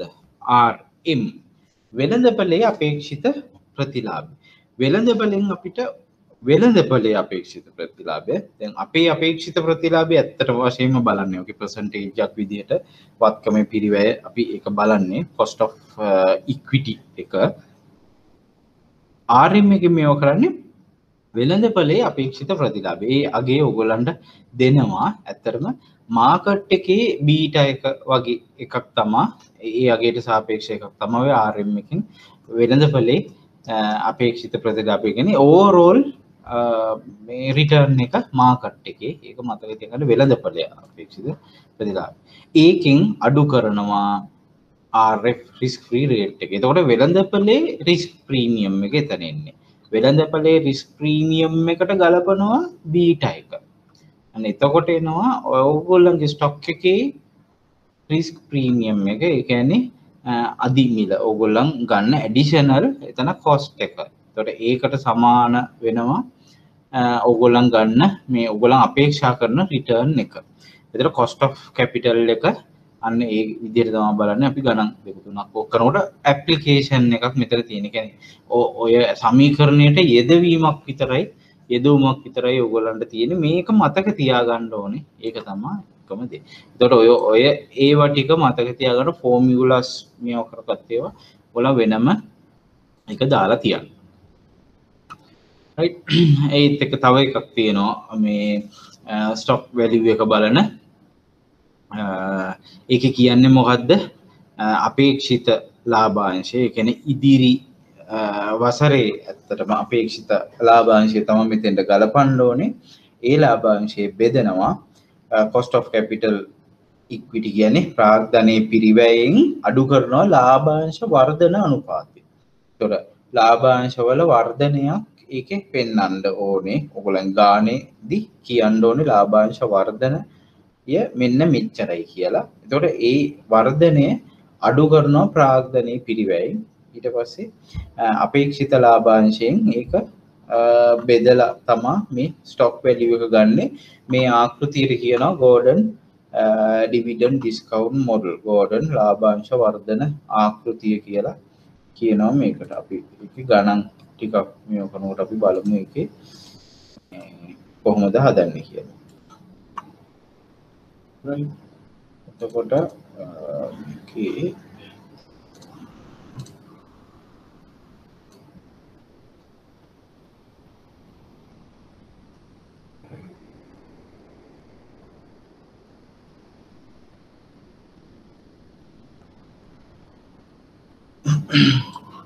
Uh, අපි ඒකේ uh, uh, ප්‍රශ්න කතා කරන්න ඉස්සල මේ මේ කොටසේ ටික ඉවර කරමු. ඒක තව um, වචන කීපයක් තියෙනවා. අත්‍යවශ්‍ය වෙන වචන ඔගොලන් විභාග එට යද්දී අහලා තියෙන ඒව මේ ඇත්තටම. මූල්‍ය ඉංජිනේරු ශිල්පය කියලා දෙයක් තියෙනවා. මේ ඉක්විට රිසර්ච් හරි මේ විශ්ලේෂණය කියන අංශයේ තියෙන වචනයක්. තර ඒකින් කියන්නේ එක එක ගනිතමය න්‍යායන් එකනෙ අපි එක එක ටෙක්නික්ස් විවිධ අංශවලින් විවිධ ටෙක්නික්ස් යස් කරලා අපි ඒ විග්‍රහ කරලා අපි විසඳුමක් සෙවීමේ ක්‍රම වේදේ දර ඉන්ටමාකට ඇන්ලිසිස් කියලා මං ඉක්විට රිසර්ච් වල අතර කතා කරා. ඒ විවිධ සුරකුම් පන්තිීන් අතර කරන අධ්‍යයනය. අන්න ඒ වගේ ඒවත් අයිති වෙන්න මෙන්න මේ මූල්ල ඉංජිනේරු ශිල්පය ෆයිනේශල් ඉංජිනීරිං කියන එකට. එතකොට එක එක මාකට්ස් අපි ඇනලයිස් කරලා අපි මෙහි විග්‍රහයන්ට යොමෙන දැ මේ දවසල එක ගොඩාක් කෙරෙනවා වැඩි. මොකද ලෝකයේ ආර්ථිකවල ඔය යුරෝපී ආර්ථිකය ආසියානු ආර්ථිකය මැද පෙරදිග ආර්ථිකය වගේ වය ගොඩාක් ඔය ඒක තියෙන කම්පොසිෂන්ස් ඒ ඉකොනොමීස් වල තියෙන ඔක්කෝම ඒ මොඩල් සම්පූර්ණ වෙනස් වීගන යන්නේ. එතකොට අපි ඔය කොටන් ප්‍රයිස් වල ඉඳම් gold prices futures forward contracts ඒ වගේ ඒ සියලුම දේවල් ඔයිල් ප්‍රයිසස් ඒ ගොඩාක් ඒ වගේ අමුතු වෙනස්වීම් සිද්ධ වේගෙන යනවා. එකන මෙතෙක් නොවිච්ච ප්‍රයිසස් වලට එනවා. එක එක චේන්ජස් වෙනවා. තොට එන්න ඒ දේවල් ඇනලයිස් කරලා උදාහරණයකට ඒ හැම මාකට් එකම තියෙන දේවල් ඇනලයිස් කරලා ලංකාවේ මාකට් එක ඉස්සරහ අවුරුද්ධ කොහොම වෙයිද කියන එක විග්‍රහ කිරීම තමා ඔන්න ෆයිනන්ශල් ඉංජිනීරින් කියන එක අදහස වෙන්න. නැත්තම් ලංකාවේ ක්ලයිමේට් චේන්ජක ඊට පස්සේ වෙරල ආශ්‍රිතව මේ සිදුවන වෙනස්කම්.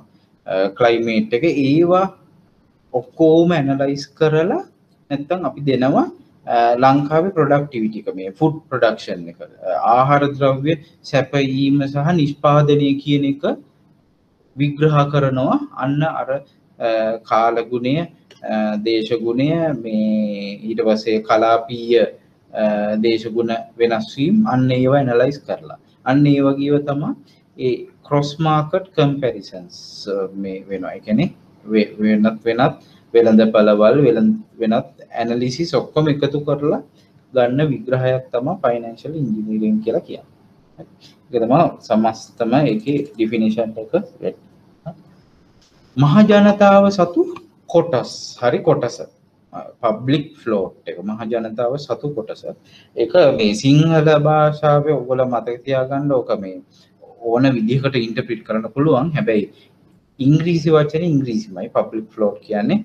එක සම්මත වචන. ෆ්‍රී ෆ්ලෝට් කියලත් කියන එතකොට ඒක අදහස් කරන්නේ සමාගමේ අයිතිකරුවන් අ, අතිවිශාල කොටස් හිමියන් රජය වගේ ඒ විශාල ප්‍රමාණාත්මකව අ, සැලකිය යුතු කොටස් ප්‍රමාණයක් හිමි පාර්ශවයන් හැරුණු විට සමස්ත ආයෝජක ප්‍රජාව කියන්නේ සතු කොට ඇති සම්පූර්ණ කොටස් ප්‍රමාණය. ඒ කියන්නේ අ, මම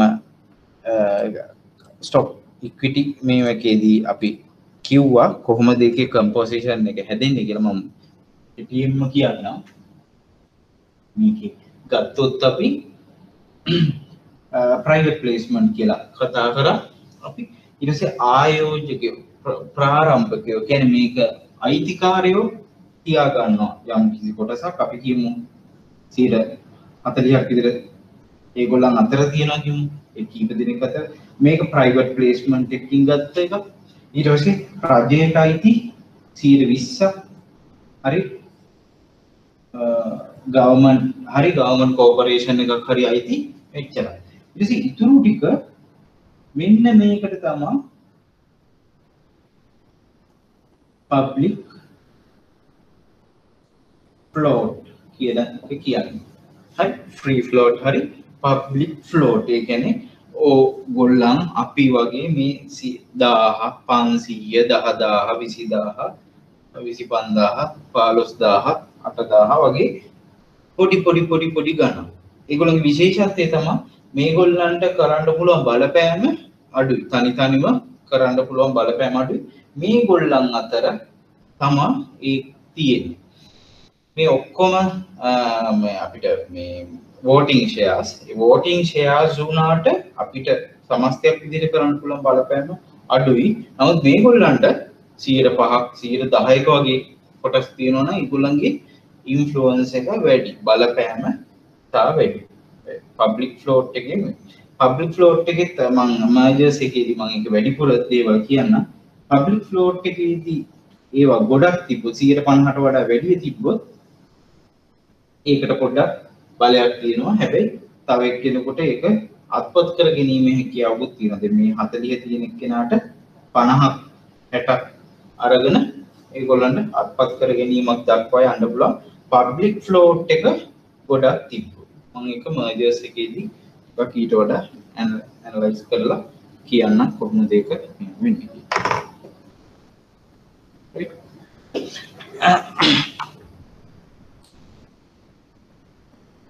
එතකොට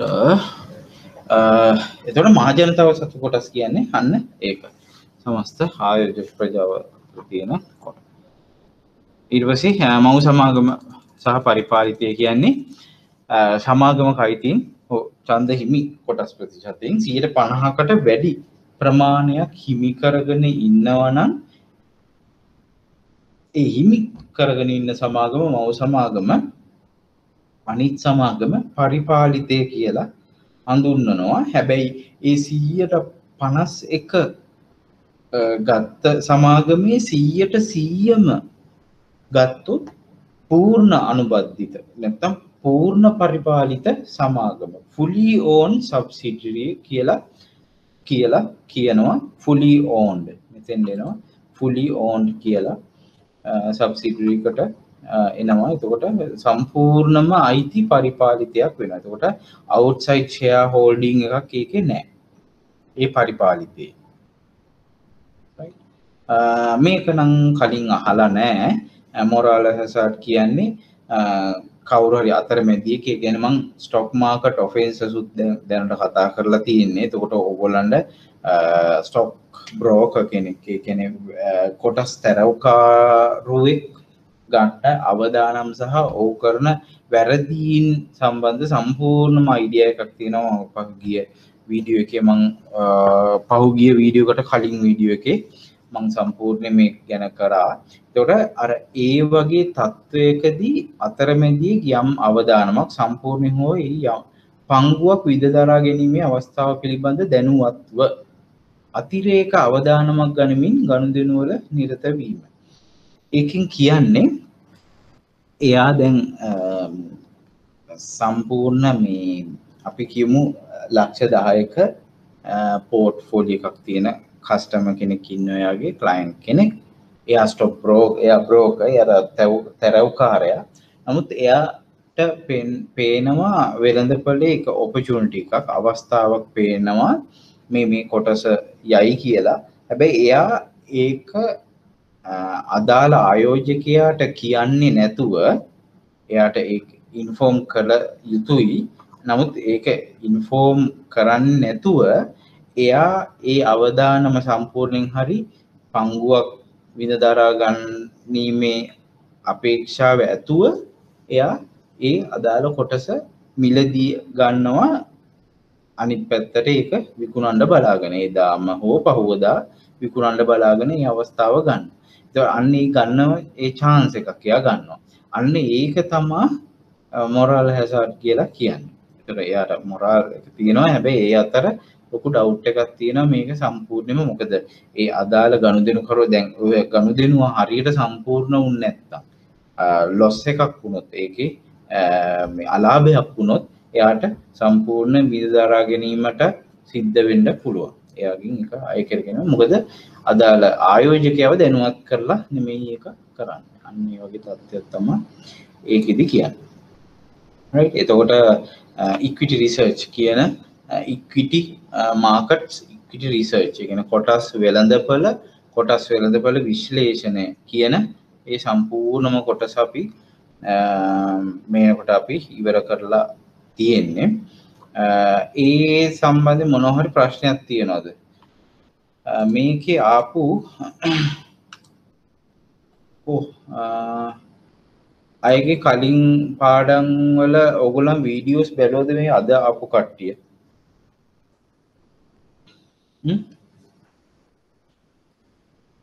පහුගේවා බලන්ඩ විදිහත් තිබ්බද? නෑනේ ඒ ලිංක එක ගන්න විදිහ පොඩ්ඩක් හයිබසෙල්ලගත් එක්ක පොඩ්ඩක් ඩිස්කස් කරලා පොඩ්ඩක් බලන්ඩ.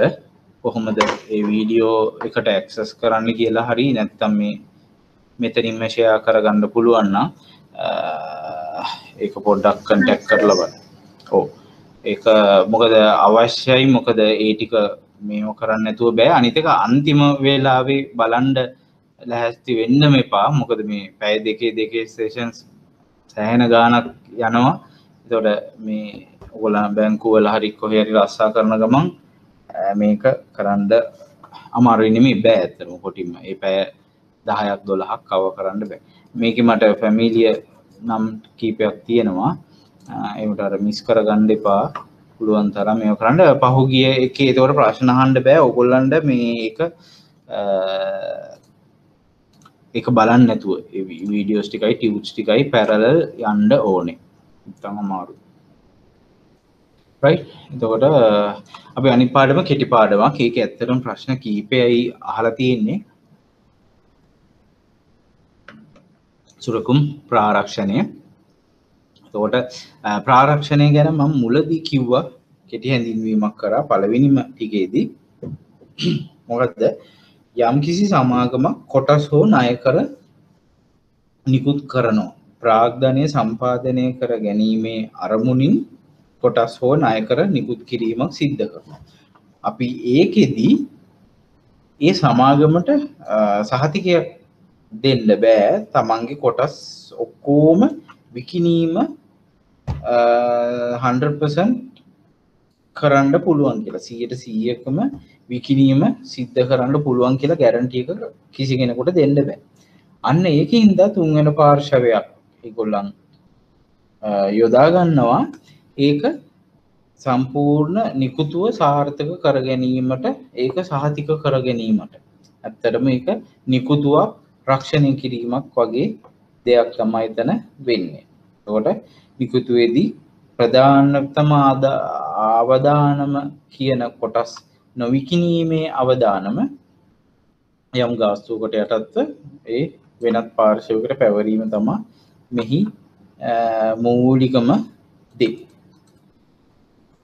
එතට මෙතන පොඩි හිස්තැනක් ඇත්තර තියෙනවා. නොවීකිනීමේ අවධානටට කරුණු කීපයක් බලපානවා. ඒක ඕන්නම් චුට්ටක් ඔගලන් ලියාගණ්ඩ පොඩි කරුණු කීපයක් ඇත්තරම සමාගමේ ක්‍රියාකාරිත්වය අර මේ- මේ- මේ උපරිම මට්ටමක නොතිබීම.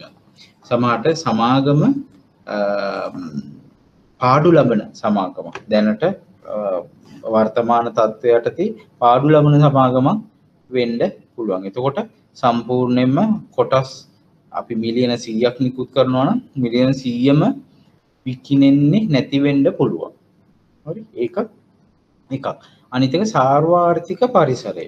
ඒ කියන්නේ දැන් අපි කියමු දැන් මෙන්න මේ වගේ කාලෙක හරියටම මේ වගේ කාලෙක කොටස් නිකුතුවක් සමාගමක නව කොටස් නිකුතුවක් සිද්ධ කරොත් ඒක ලංකාවේ එච්චරම එච්චරම පොපියුල වෙන්න තියෙන සම්භාවිතාවය අඩුයි. මොකද මිනිස්සුන්ගේ අ, වියදම් කිරීමේ හැකියාව වියදම් වැඩි වෙලා තියෙනවා ආදායම් සෑහෙන්ඩ අඩු වෙලා තියෙන අ, ආර්ථික පොඩ්ඩක් අවපාතයක් පැත්තට බර වෙලා තියෙන හන්ද මේක අ, එච්චරම අ, මේ සිය ඔක්කොම කොටස් විකිනීමේ විකින්න ගණ්ඩ බැරි වෙන තත්ත්වයකට බලපාණ්ඩ පුළුවන්. හරි? ඔන්න ඔය වගේ කාරණා තමා සමාගම සමට පොපියුල නැතිවෙන්න පුළුවන්. හරි? කීර්තිනාමේ ඒ තරම් දුරට නොතිබෙන්න පුළුවන්. ොට අන්න ඒ වගේ හින්ද මේක නෑ. නොමිකිනීමේ අවදානමක් පවතින්ට පුළන් එක පොඩ්ඩක් ඔන්න මේ මේ සයි දෙකින් ටක් ඔගලන් රෙකෝඩ් කරගන්න. දර අන්ඩරයිට අන්ඩරයිට ප්‍රාරක්ෂක කියන එක්කෙන තමා සම්පූර්ණයම නිකුතුව සම්බන්ධයෙන් ඒ අ, අරමුදල් රැස් කිරීම ඒ අධීක්ෂණ කටයුතු ඒ නිකුතුව සම්බන්ධ සම්පූර්ණ වගකීමට බැඳෙන ඒ ඒ- ඒ අදාළ අ, බැංකුව හෝ වනික් බැංකුව හෝ ආයෝජන බැංකුව තමා ඒ අ, ප්‍රාරක්ෂක කියලා කියන්නේ. අන්ඩරයිටිං වල ප්‍රාරක්ෂක තමයි මූලිකම කෙනා. Right? එතකොට ඒ ප්‍රාරක්ෂකගේ කාර්යභාරය අ, කාර්යභාරයන් කීපයක් තියෙනවා. අ, නිකුතුව අධීක්ෂණය කිරීම සහ කළමනාකරණය කිරීම. ඔය පොයින්ස් ඔක්කොටෝම මේව කරන්න ඕන්න ඕන්නන් එක දිගට පොඩක් නෝඩ් ඩවුන් කරගන්න නැත්තම් පින් පොයින් කරගන්නට රෆ්ලි මෙන්න මෙහෙමයි කියලා එක නැතන් දිගට ඔගොල්ලන්ට නෝට් එකක් මේව කරගන්න පුළුවන්. අධීක්ෂණය කිරීම ඒ අදාළ අරමුදල් රැස් කිරීම කොටස් නිකුතුව ඈ, ඊට පස්සේ අ, අතිරේක අරමුදල් නැවත බෙදා හැරීම. හරි? ඒ අතිරේක අරමුදල් කියන්නේ හරි? තව මූලිකම කාර්යභාරය තමයි එයාගේ අ, සියලුම කොටස් අ, නිසි පරිදි විකිනී ඇති බව තහවුරු කිරීම. ඒක තමා ප්‍රධානම ඒකොල එයාගේ කාර්යභාරයක් වෙන්නේ. Right? එතකොට අ, අර තව එකක් තියෙනවා මේකේ. අ, අපි දැන් කොටස් විකිනීමේදී මිලියනයක් කොටස් වික්කොත් අපිට කියන්න බෑ හරියටම මිලියනයක් ඇප්ලිකේෂන් එනවා කියලා. එතකොට මිලියනයකට වැඩියෙන් ඇප්ලිකේෂන් සාවොත් අපි ඒ කොටස යම්කිසි පදනමක් මත බෙදලා අපි ඒක රිටර්න් කරනවා. අන්න ඒක තමයි ඒක අ, මං කිව්වේ අර අමත අතිරේක අරමුදල් අ, නැවත මේ ඒ ආයෝජකයන්ට යැවීම. ඒකත් ඒක කාර්යභාරයක් කරන right?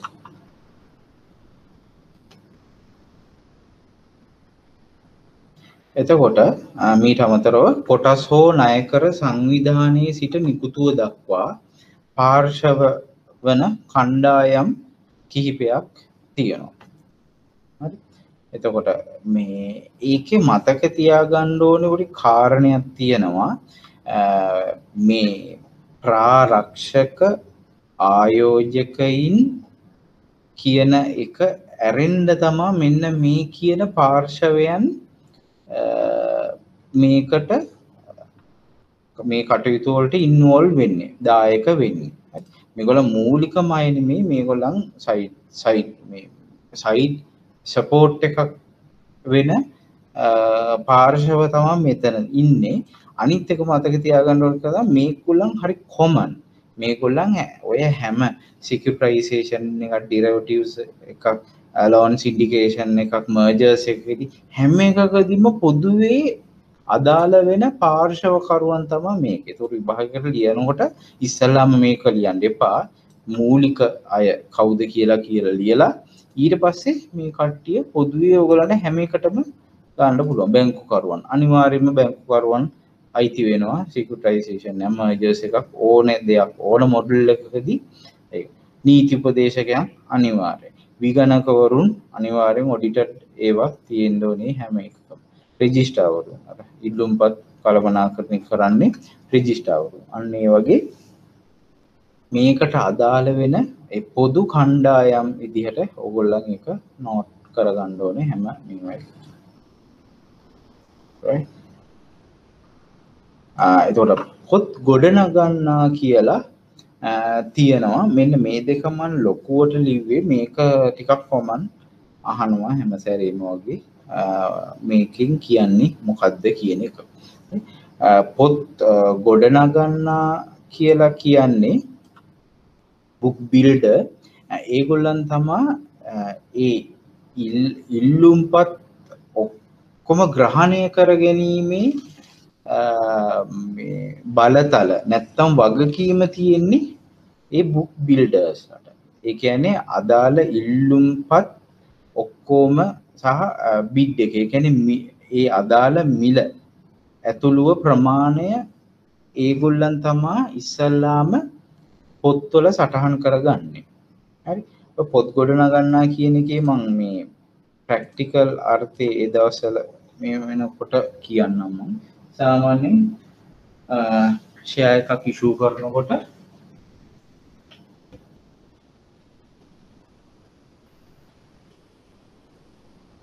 මෙහෙම දැන් මම නම් ලිස්ට එක ගන්න ඔගොල්ල එක එක ප්‍රයිස්වලට ඉන්නවා ඒ දැන් ආයෝජකයෝ ABCD e කියලා ඉන්නවා නම් එගොලන් ඒ කියන එක්කෙන රුපියල් දහය ගානේ දහ දහක් ඉල්ලනවා. දෙසි B කියන එක්කෙනගෙන් කෝල් කරලා ගන්න ඔක්ෂන් එකක් වගේ.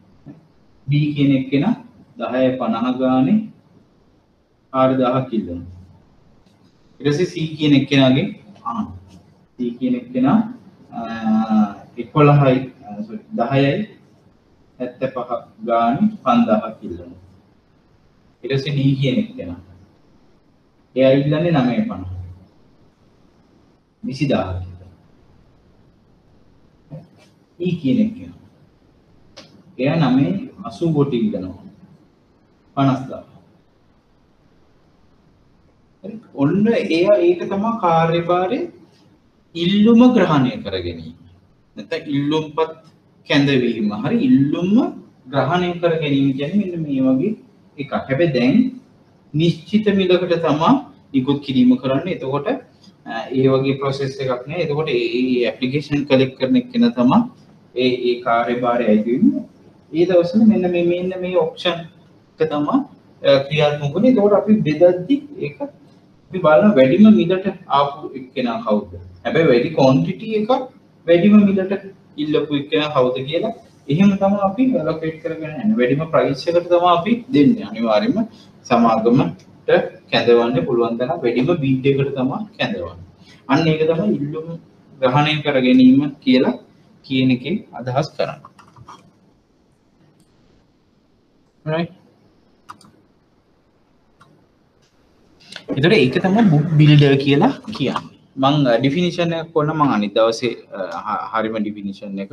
ඒක දි මේෝ කරන්නම්. කොහොමද පොතේ තියෙනවේ පොත් ක්‍රියා කරවන්නා කියන්නේ ඒ ඒ බුක්සල්ට අනුව ඒක සම්පූර්ණ ඉතුරු අධීක්ෂණ කටයුතු සියල්ල සිදු කරන එක්කෙන.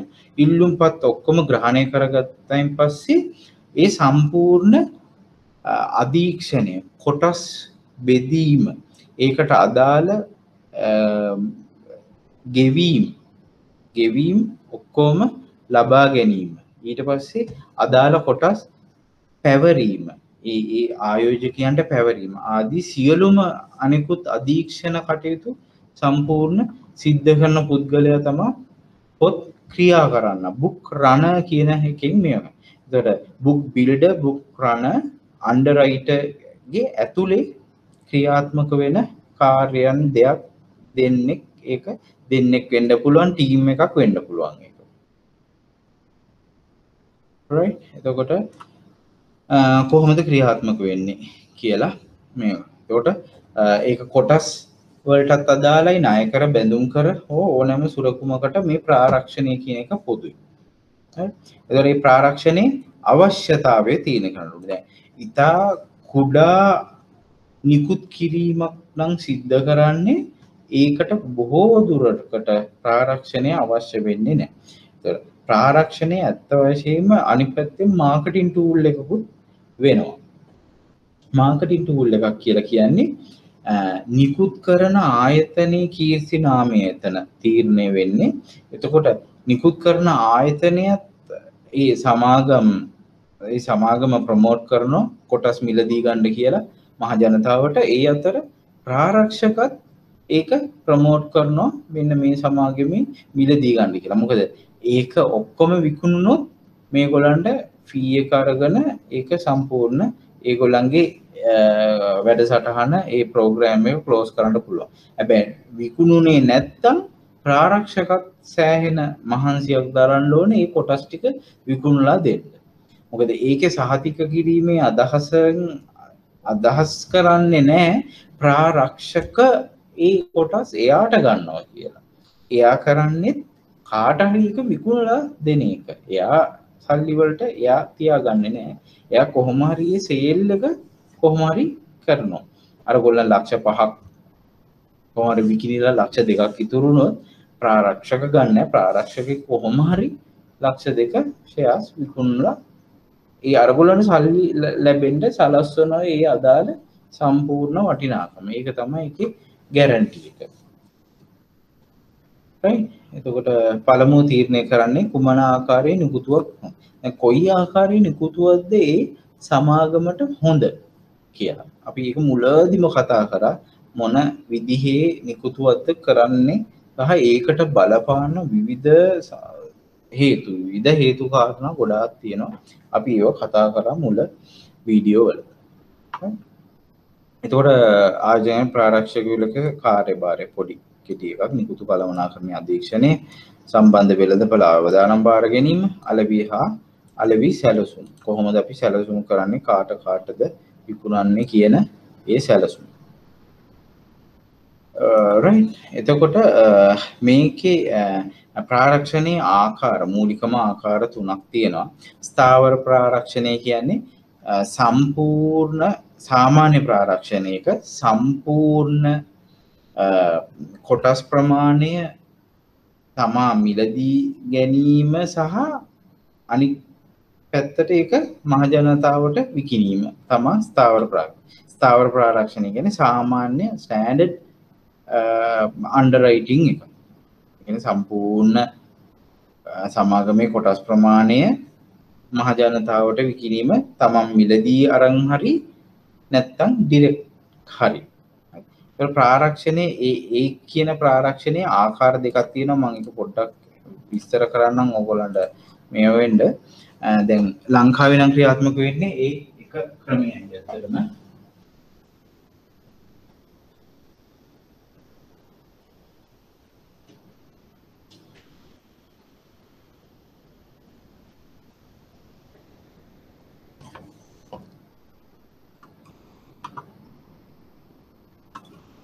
දැන් ම්, මෙතන තියෙනවා මේ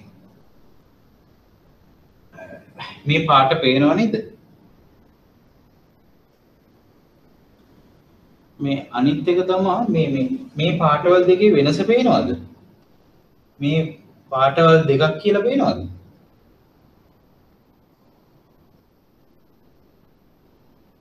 පේනවනේ. හරි. right එතකොට මේ- මේ සමාගමක් තියෙනවා සමාගම නිකුත් කරනවා අ, කොටස් ම්? කොටස් නිකුත් කරන්න මහජනතාවට ආරාධනා කරනවා මේක පබ්ලික් රයිට් මේගොල්ලන් කොටස් නිකුතුවක් සිද්ධ කරනවා. එතකොට මේකට තමා අතරමැද්දෙන්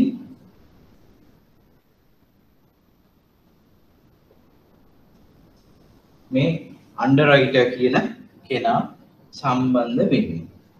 තර මෙයා එක ක්‍රමයක් තියෙනවා. මෙයා කියනවා සමාගමට ඔය සමාගම විකිනීම කරන්න. බැරි වෙලාවත් කොටස් ඉතුරුණුත් මම ඒක ගන්න එකද ඔය සාමාන්‍ය ඉදිරි කරන්න මමත් මෙතනින් මේක ප්‍රචාරය දෙන්නම් අලවියට උෂ්‍යකක් දෙන්නම් මාකටින් පැත්ත කරන්න ඔයා සේලය කරන්න. එක එක විදිහ එක ෆී බේස් ඒකෙන් ඉදුලන්ට ෆී එකක් හම් වෙනවා. දෙවනි ක්‍රමයක් තියෙනවා. එන්න මෙහෙම. දෙවනි ක්‍රමේදී මෙයා ඔක්කොම මිලදී ගන්නවා. සම්පූර්ණ ප්‍රාරක්ෂක මිලදී අරන් ජනතාවට විකුණනවා ඒ කොටස්. තමුන් මිලදී අරන්. සෑහෙන්ඩ කොස්ට of කැපිටල් එක වැඩි. එකන කොස්ට of ෆන්ස් මේ මේ සම්පූර්ණ එක මිලදී ගණ්ඩ මිලියන පන්සියක් බිලියන එකක් තියෙන් ඕන. මේ ඔක්කො මිලදී අරම් විකිරීම එක ලංකාව සිද්ධ වෙන්න නෑ මේක ෆන්ඩ් පේස් මේක ඒ අරමුදල පදනම් කරනගෙන ලොකු අරමුදලක් තියෙන්න්න ඕනේ. මේගොල්ලන්ගේ චාර්ජ් එක වැඩි මේකෙදි. එහෙම කරලා මේක විකිනීම සිද්ධ කරන එක තම ඊට පස්සේ අනිත් ක්‍රමය වෙන්නේ. පොඩි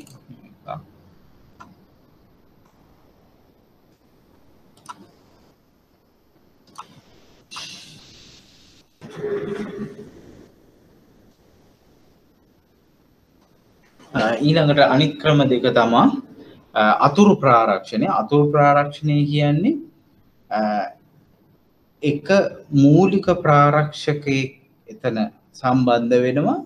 හැබැයි එයා සම්පූර්ණ වශයෙන්ම ඒ තනි ප්‍රාරක් ඒ ප්‍රාරක්ෂණ වැඩ සටහන තනිවම ගන්න. එයා තව සබ් දෙන්නෙක් හෝ තුන් දෙනෙක් සම්බන්ධ කරගෙන ඒ ප්‍රාරක්ෂණය සිද්ධ කරනවා.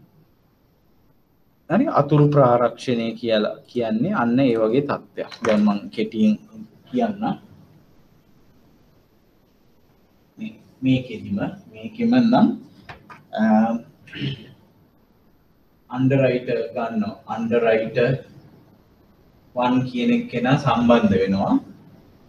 එයා තව අන්ඩරයිට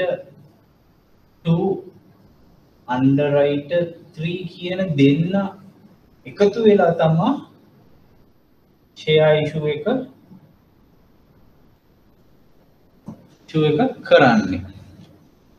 ජොයි මෙයා අතුරු ප්‍රාරක්ෂණය. මෙයා එක මේ දෙන්නෙක් සම්බන්ධ වෙලා තමා එකන අතිවිශාල නිකුතුවක්.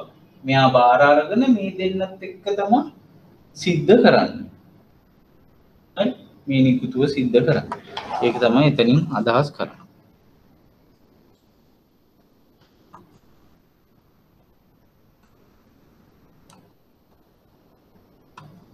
එතවට හවුල් ඒකාබද්ධ ප්‍රාරක්ෂණය කියලා කියන්නේ දෙන්නෙක් හෝ තුන් දෙනෙක් පැරරල් සම්බන්ධ වෙලා සම්පූර්ණ ප්‍රාරක්ෂණයක් සිද්ධ කිරීම. නැතුව එම මේ දෙන්නෙක් සම්බන්ධ වෙලා හරි තුන් දෙනෙක් හරි අන්ඩරයිට 1 2 3 කියලා තුන් දෙනෙක් එකතු වෙලා මේ අදාළ සමාගමේ කොටස් ගුණන්ට මේ තුන් දෙනෙක් එකතු වෙලා පැරලල් සමාන්තරව සම්බන්ධ වෙලා අදාළ නිකුතුව සිද්ධ කරන එක තමා අනිත් ක්‍රමය ජොයින් කියලා කියන්න. එතකොට ඒකෙදිත් හැබැයි වෙනසක් තියෙනවා. ඒකෙදිත් වෙනසක් තියෙනවා. හවුල් ඒකා බද්ධ ප්‍රාරක්ෂණයේදීත් ලීඩ් අන්ඩරයිටගෙන එකගෙන ඒකට ප්‍රමුඛතාවයෙන් කටයුතු කරන ප්‍රාරක්ෂණ ආයතනයක් ප්‍රාරක්ෂකයෙක් එතන ඉන්නවා. ඇයි නැත්තං අර අනිත් පාර්ශවයන් කෝඩිනේට් කරන්න කෙනෙක් නෑ. තොට ලීඩ් අන්ඩරයිට කියන කෙනෙක් ඉන්න ලීඩ් අන්ටරයිට කියලා කියන්නේ එය තමා ඒ ප්‍රාරක්ෂකයෝ කීප දෙනාගේ කළමනා කරණය බාරව ඉන්න. නැත්තං ඒගොලන් අතර ගොඩක් ගට්ටනයන් ඇතිවෙන්න පුළුවන් ඔය ප්‍රාරක්ෂකයෝ දෙන්නෙක් තුන් දෙනෙක් ආපුහම රයි ඕකේ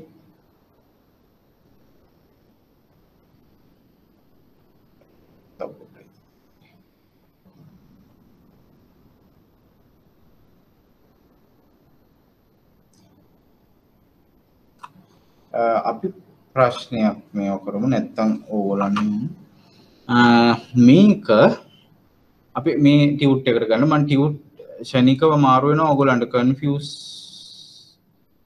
ද කන්ෆෂන් එකක් තියෙනවාද? මොනවාහරි නෑන.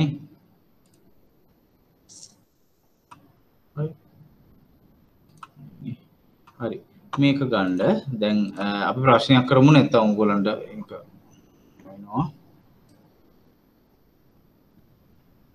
ප්‍රාරක්ෂණය කියන කොටස ඉවරයි. එතකොට ඒකින් පොඩ්ඩක් ඔගොලන් අපහු බලාගණ්ඩ අපි අබහුවර ප්‍රශ්න කීපයකට යන්.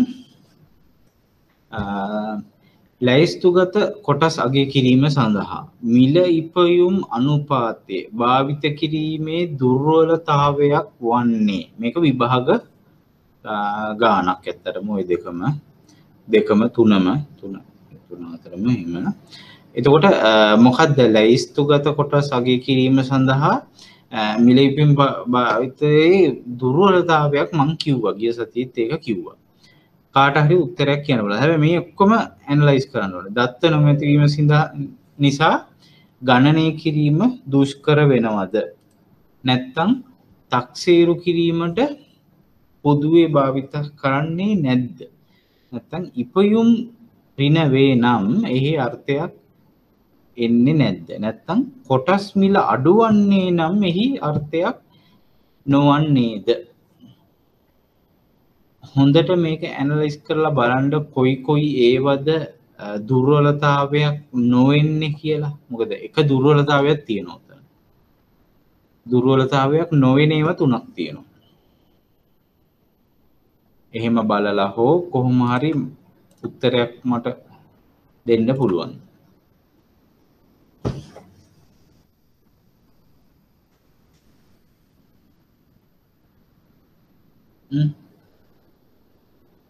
දත්ත නොමැතිවීම සිද්ධ වෙන්න පුළුවන්ද? මේකට ඕන දත්ත මොනවද? දත්ත දෙක කියන්න. මොනවද දත්ත දෙක?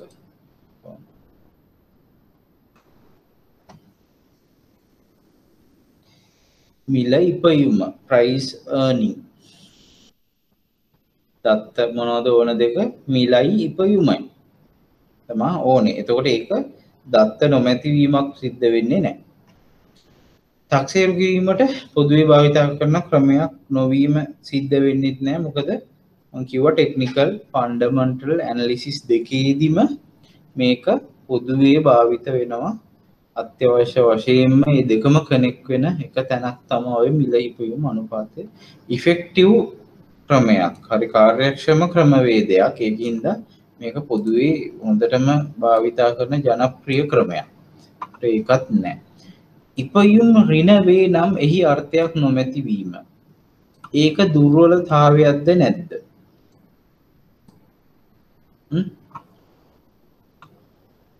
දුර්වලතාවයක්ද නැද්ද?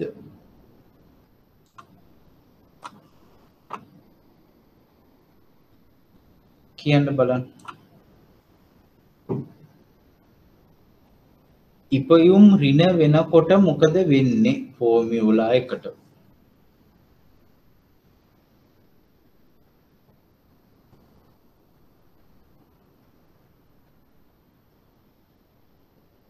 කොටසක මිලක් අරගන ඕගොල්ලන් මයිනස් ඒර්නිං එකක් රින ඉපයුමක් තියෙනවා. නම් ඒක බෙදල බලන්න එතකොට එන උත්තරේ මොකක්ද කිය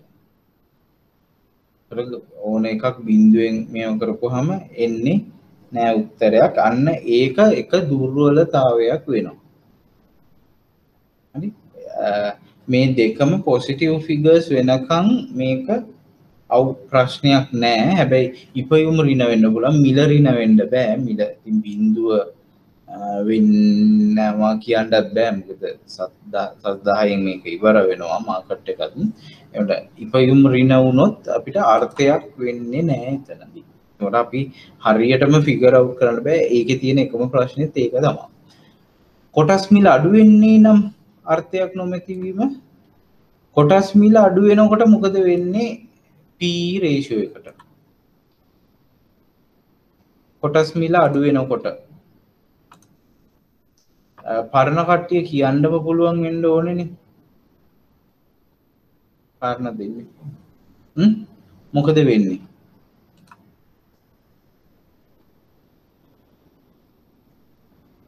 කොටස් මිල අඩු වෙනකොට.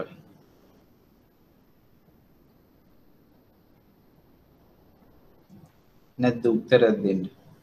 කොටස් මිල අඩු ඉපයුම් ඒ සමානව තියෙද්දි ආම්, කොටස් මිල අඩු වෙනකොට ඒක අර්ථයක් නැද්ද? නැත්නම් පීරේෂය එකට මොකද වෙන්නේ? පී එක අඩු වෙනවද වැඩි වෙනවද?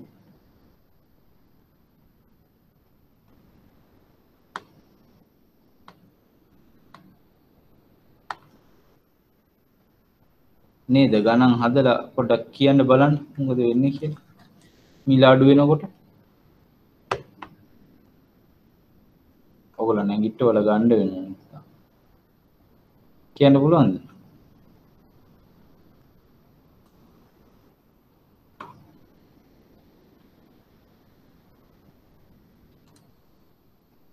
මිල අඩු වෙනකොට පී එක අඩු වෙනවා. මිල තියෙන්නේ උඩනේ. මිල වැඩි වෙන්න වැඩි වෙන්න සෝරි අඩු වෙනකොට පී එක මොකද වෙන්නේ? මිල 10යි නම් earning 5යි නම් පී එක දෙකයි.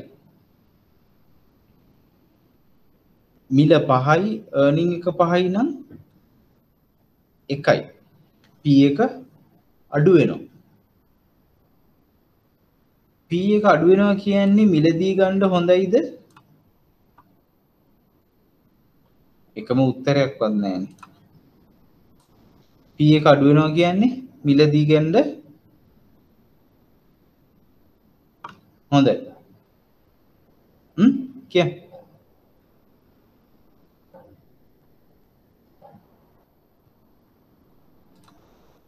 මිලදී ගන්න හොඳයි. පී එක අඩු වෙන තරමට තමා මිලදී ගන්න හොඳ පී එක 18යි 20යි 22යි කියන්නේ එක්ක ප්‍රයිස් එක වැඩි එක්ක earnings අඩුයි.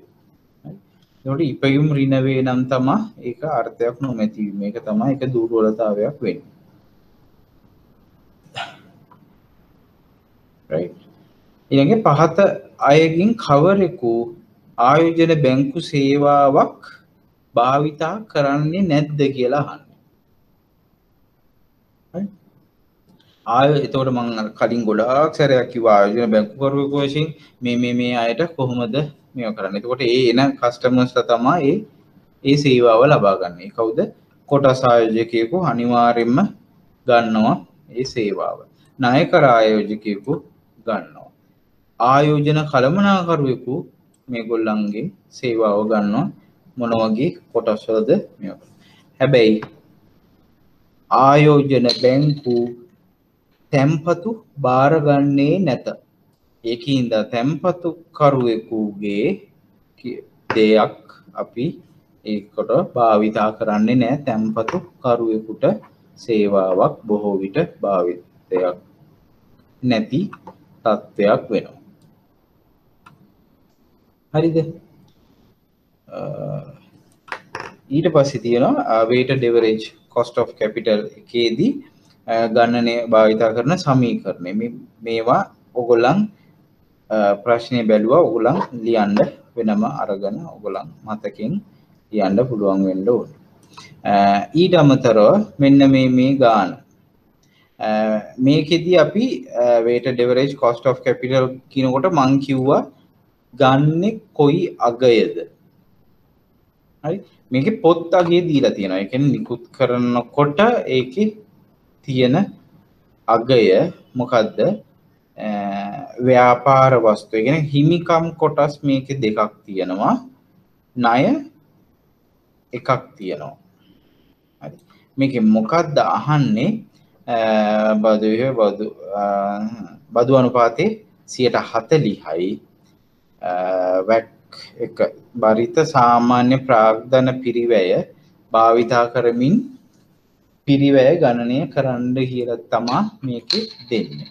එතකොට අපිට දීලා තියෙනවා ඒක පොස්ට එක. අපි අර අතන හැදුව කලින් හැදුව එකේ cost of capital cost of equity කියන එක.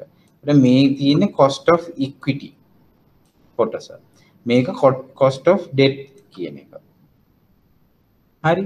එතකොට ඒක අපිට දීලා දින බුක් වැලියු එක. පොත් අගේ දීලා තියෙන වෙළඳපළගේ. අපි ගන්න වෙළඳපළ වටිනාකම. එතකොට මේක සම්පූර්ණ වෙළඳපළ වටිනාකම මෙන් බෙදනවා. මෙන්න මේ ණය ප්‍රමාණය. සම්පූර්ණ වෙළඳපළ වටිනාකමෙන් බෙදනවා. මෙන්න මේ වර්ණීය කොටස වෙනම පොදු ව්‍යාපාර වස්තු වෙනම. මයික ඊළඟ සතියේ කරන්නම් ඕගොල්ලන් කරන්න ඕනේ. මං දැන් හැමදාම කිව්වට බලන්නේ නෑ. හැබැ හැමදාම කියනවා. ඔගොලන මේක ආපහු කරන්ඩ තියන් එපා. මේ වීඩියෝස් ආපහු බල බල. ආය මාස හයක් කල්දාන්ඩ එපා. ඒ මාස හය කිව්වට ලේසි පාසු මාසාහයක් නෙමේ. හරි අමාරුයි. වැඩත් ඕගොල්ලන්ගේ අනි වැඩත් කරගන්න ගමන් මේ ආපහු තව මාස හයේ කෝස් එකක් මාස අවුරුද්ධකට මේ අවුරුද්ධකට ඇදගන්න එපා. ඒහින්ද පුළුවන් තරම් කියන මේ මේ යන ප්‍රෝග්‍රෙස් වෙන ස්ටෙප්ස් වල එහෙම්මම එක කරගන්න. මොකද ඔගොලට මේ දුකම විඳින්ඩ වෙනවා තව මාස හයක් මේක එහෙම්මම නිකං සරලව අතැරියොත් ඇත්තටම කියනවනම් මේ මේ ස්ටේජ් එකේවා ඔක්කොම අමාරුයි. අමාරු කොටස් තියෙනවා.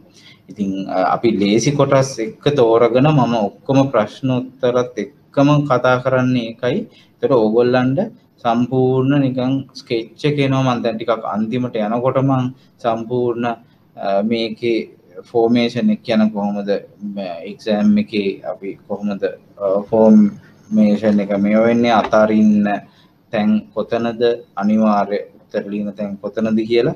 සම්පූර්ණ මේ ප්‍රෝග්‍රෑම් එක අපි බලමු සම්පූර්ණ අන්තිම හරිටෙනකොට ඒ අතර ඒ අතර යනකොට මුළු විභාග මේවා ටික ගොඩාක් ඒව සියට අසුවක් අසූ පහක් අපි කතා කරලා ඉවරයි. එතකොට ඔගලන්ට තියෙන තෝරා ගැනීම විතර.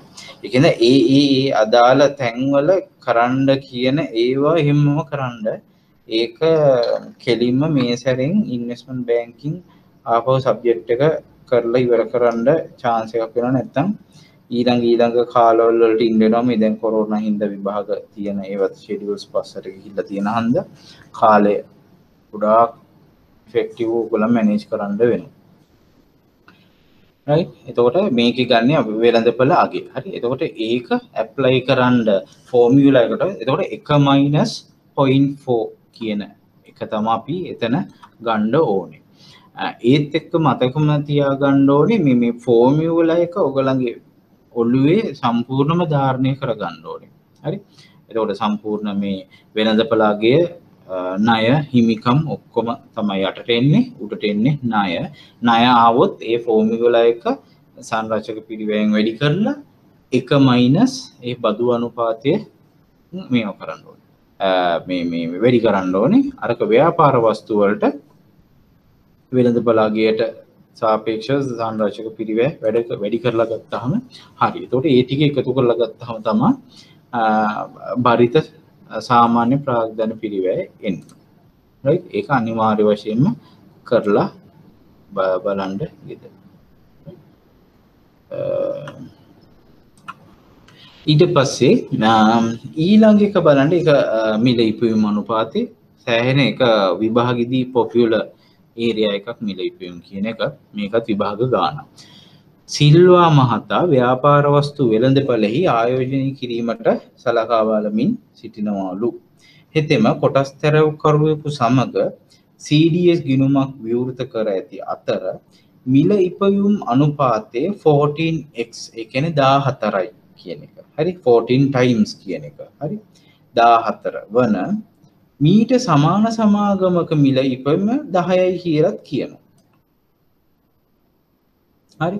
මිල ඉපයුම දාහතර වන ඇල්ෆා PLCහි කොටස් මිලදී ගන්නා ලෙස සිය ආයෝජන උපදේශක විසින් නිර්දේශ කර ඇත. හරි.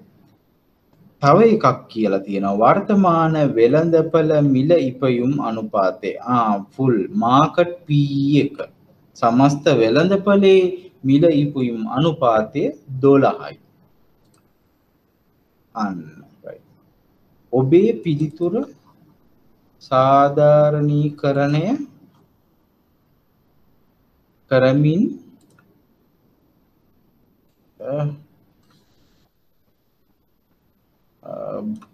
සාධාරණීකරණය කරමින් මෙම උපදේශ නිවැරදිදයි පැහැදිලි කරන්න. මොකක්ද ඔබේ පිළිතුර වෙන්නේ. මිල ඉපිම් අනුපාතය දාහතරක් වන මේ කියන කොටස් මිලට ගන්නා ලෙස ආයෝජක උපදේශවලින් නිර්දේශ කරලා තියෙනවලු. හැබැයි මාකට් පී එක දොළහයි මීට සමාන සමාගමක එකන ඒ කියන අදාළ අපි කියමු බැංකුව කියලා මේ ඇල්ෆා කියලා ඒ ඇල්ෆා ඒ කියන සෙක්ට එකේම තව සමාගමක මිල ඉපයුම දහයයි. මේක දාහතරයි. මේක මිල දී ගන්නා ලෙස ආයෝජක උපදේශක විසින් නිර්දේශ කරලා තියෙන එක ඔගොල්ලන්ට පිළිගන්න පුළුවන්ද නැද්ද? මට එකට උත්තරයක් ඕනේ.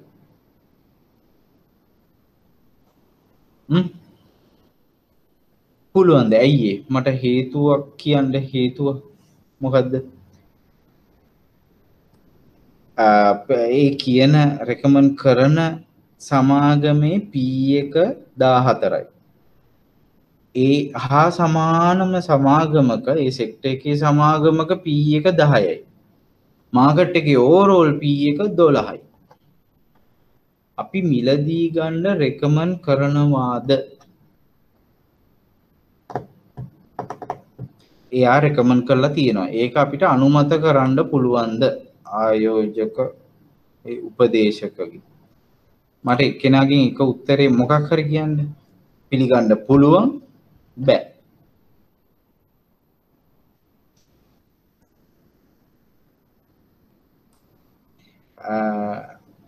හරි. කැන් රෙකමන් 10x හැබැයි අරයා කියලා තියෙන මොකද්ද? 14x එක එයා රෙකමන් කරලා තියෙනවා P එක වැඩි. මාකට් P එකටත් වඩා වැඩි. ඒ කියන්නේ මාකට් එකේ තියෙනවා තව අඩු ඒවා. සෙක්ටර් එකේ ඒගොල්ලන් ඔව් ඒක තමයි. සෙක්ටර් එකේ කියලා තියෙනවා සෙක්ටර් එකේ 10ක් ඒ ඊට සමාන සමාගමක 10x ඒ කියන්නේ සාපේක්ෂව ප්‍රයිස් එක අඩුයි. නැත්නම් earnings වැඩි. එහෙම සමාගමක් තියෙනවා. හැබැයි මේ පැත්තෙන් කියනවා 14x එක රෙකමන්ඩ් කරා කියලා. අන්න ඕක සාධාරණීකරණය කරන්න. මේක 14 රෙකමන්ඩ් කරන්න බෑ පළවෙනිම දේ. ඇයි? ඒ සමාන සමාගමක 10ක් තියෙනවා එක. දෙක මාකට් P එක 12යි යන්නේ. එතකොට ඒකටත් වඩා වැඩි ඔය රෙකමන්ඩ් කරන ෂෙයා එකේ. ඒතර මාකට් P එක 12යි කියන්නේ ඕවරෝල් මාකට් එකේ එවරේජ් එක ගත්තත් ඊට වඩා අඩුයි. ඒ කියන්නේ අඩු PE වැලියුස් ඒවා තියෙනවා. උදාහරණයක් ඔය 10 තියෙන එක 10 එක රෙකමන්ඩ් කරන්න පුළුවන්. 10ට අඩුවෙන් රෙකමන්ඩ් කරන්න පුළුවන්. හරි. ඔන්න ඔය උත්තරයක් ඕගොල්ලන් කම්පෝස් කරන්න ඕනේ. සහ මං ඊට කලින් P රේෂියෝ මේ අපි පටන් ගන්නකොට P ලොකු ගාණක් හැදුවේ. ඒක මගේ ගානක් එක මේ විභාගට අප එකක් නෙමේ ඒක හැදුවෙනවකොත් නෙමෙයි. ඔන්න ඔය සරල ඒවා එතකොට ඔගොලන්ට ලේසියෙන්ම කරන්න පුළුවන්. ඊළඟ සැරවල්ල ඔයගේ ටිකක් ලොකු එකක් අහන්ඩත් පුළුවන්. ඒකට ඔගොලන් ප්‍රඩිවෙන්ඩ ලේසියෙන්ම පුළුවන් මේක හින්දා. රයිට් ඊට අමතරව අපි අනිත් ප්‍රශ්න කිහිපයක්. මේක ඔගොල්ලන්ට කරන්න පුළුවන්. හරි. මේක ඔගොල්ලන් කරන්න ඕනේ. මං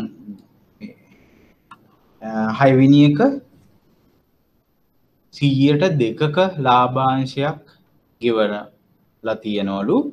ලාභාංශ වත්මන් වර්ධන අනුපාතේ සියට අටකින් වර්ධනය වෙනවා. හරි. මේක මං අනි දවස හදන්නම්. මේක ටික කොටස් දෙකකට හදන්න ඕනේ. මේකට ගණ්ඩ ඕනේ ෆෝමියලස් දෙකක් තියෙනවා. මං ඒක කියන්නම්. ඔගොල මේක පොට්ටක් ස්ටඩී කරන්න. සීර දෙක්ක ලාභාංශයක් ළඟදි ගෙවල තියෙනවා. ලාභාංශ වර්ධන අනුපාතය සියට අටයි කොටස්වල බීටාගයක් දීලා තියෙනවා. කියද? 1.2 යසේ වෙළඳපලේ අවදානම් අධිමිල වෙළඳපලේ අවදානම් අධිමිලක් දීලා තියෙනවා. මාකට් එක ප්‍රීමියම් එක මාකට ප්‍රීමියම් එක. වෙළඳපලේ අධිමිලක් දීලා තියෙනවා. වත්මන් අවදානම් රහිත අනුපාතයක් දීලා තියෙනවා. මේකේ නයිසර්ගික වන intrinsic value price of the share තමා මේක හොයන්ඩ කියලා තියෙන්නේ. හරි? මේකට ගණ්ඩ ඕන ෆෝමියලස් දෙකක් තියෙනවා. එකක් ඩිවිඩන් ග්‍රෝත් එක අනිත් එක කැපිටල් ඇසෙට් ප්‍රයිසිම් මොඩල් එක. අර අපි කලින් කතා කරපු එක. එක මං කොහොමද මේෝ කරන්න කියලා මේ හයවිනි එක මන්ටික කාලය අරං කරන්න ඕනේ. ඒක මං කරන්නම්. ඊළඟ එක ඔගොල මේටික ආපහු මේක ෆන්ඩමටල් මේක පොඩි පොඩි බේසික් එකක්. පහත දැක්වෙන එක්ෙක් විශ්ලේෂණ ශිල්පිය ක්‍රමයන් සුදුසු උදාහරණ සපීමින් විස්තර කරන්න. එතකොට ඔගොල්ලම් පොඩි ෆෝමියලස් එකන මේ පොඩි රේෂියෝස් ඔය අනුපාත වගේ පදනම් විශ්ලේෂණය කියන උත්තරයට දෙන්න ඕනේ. පදනම් විශ්ලේෂණය කියන මොකක්ද කියලා පොඩි අනුපාතයක් එක්ක.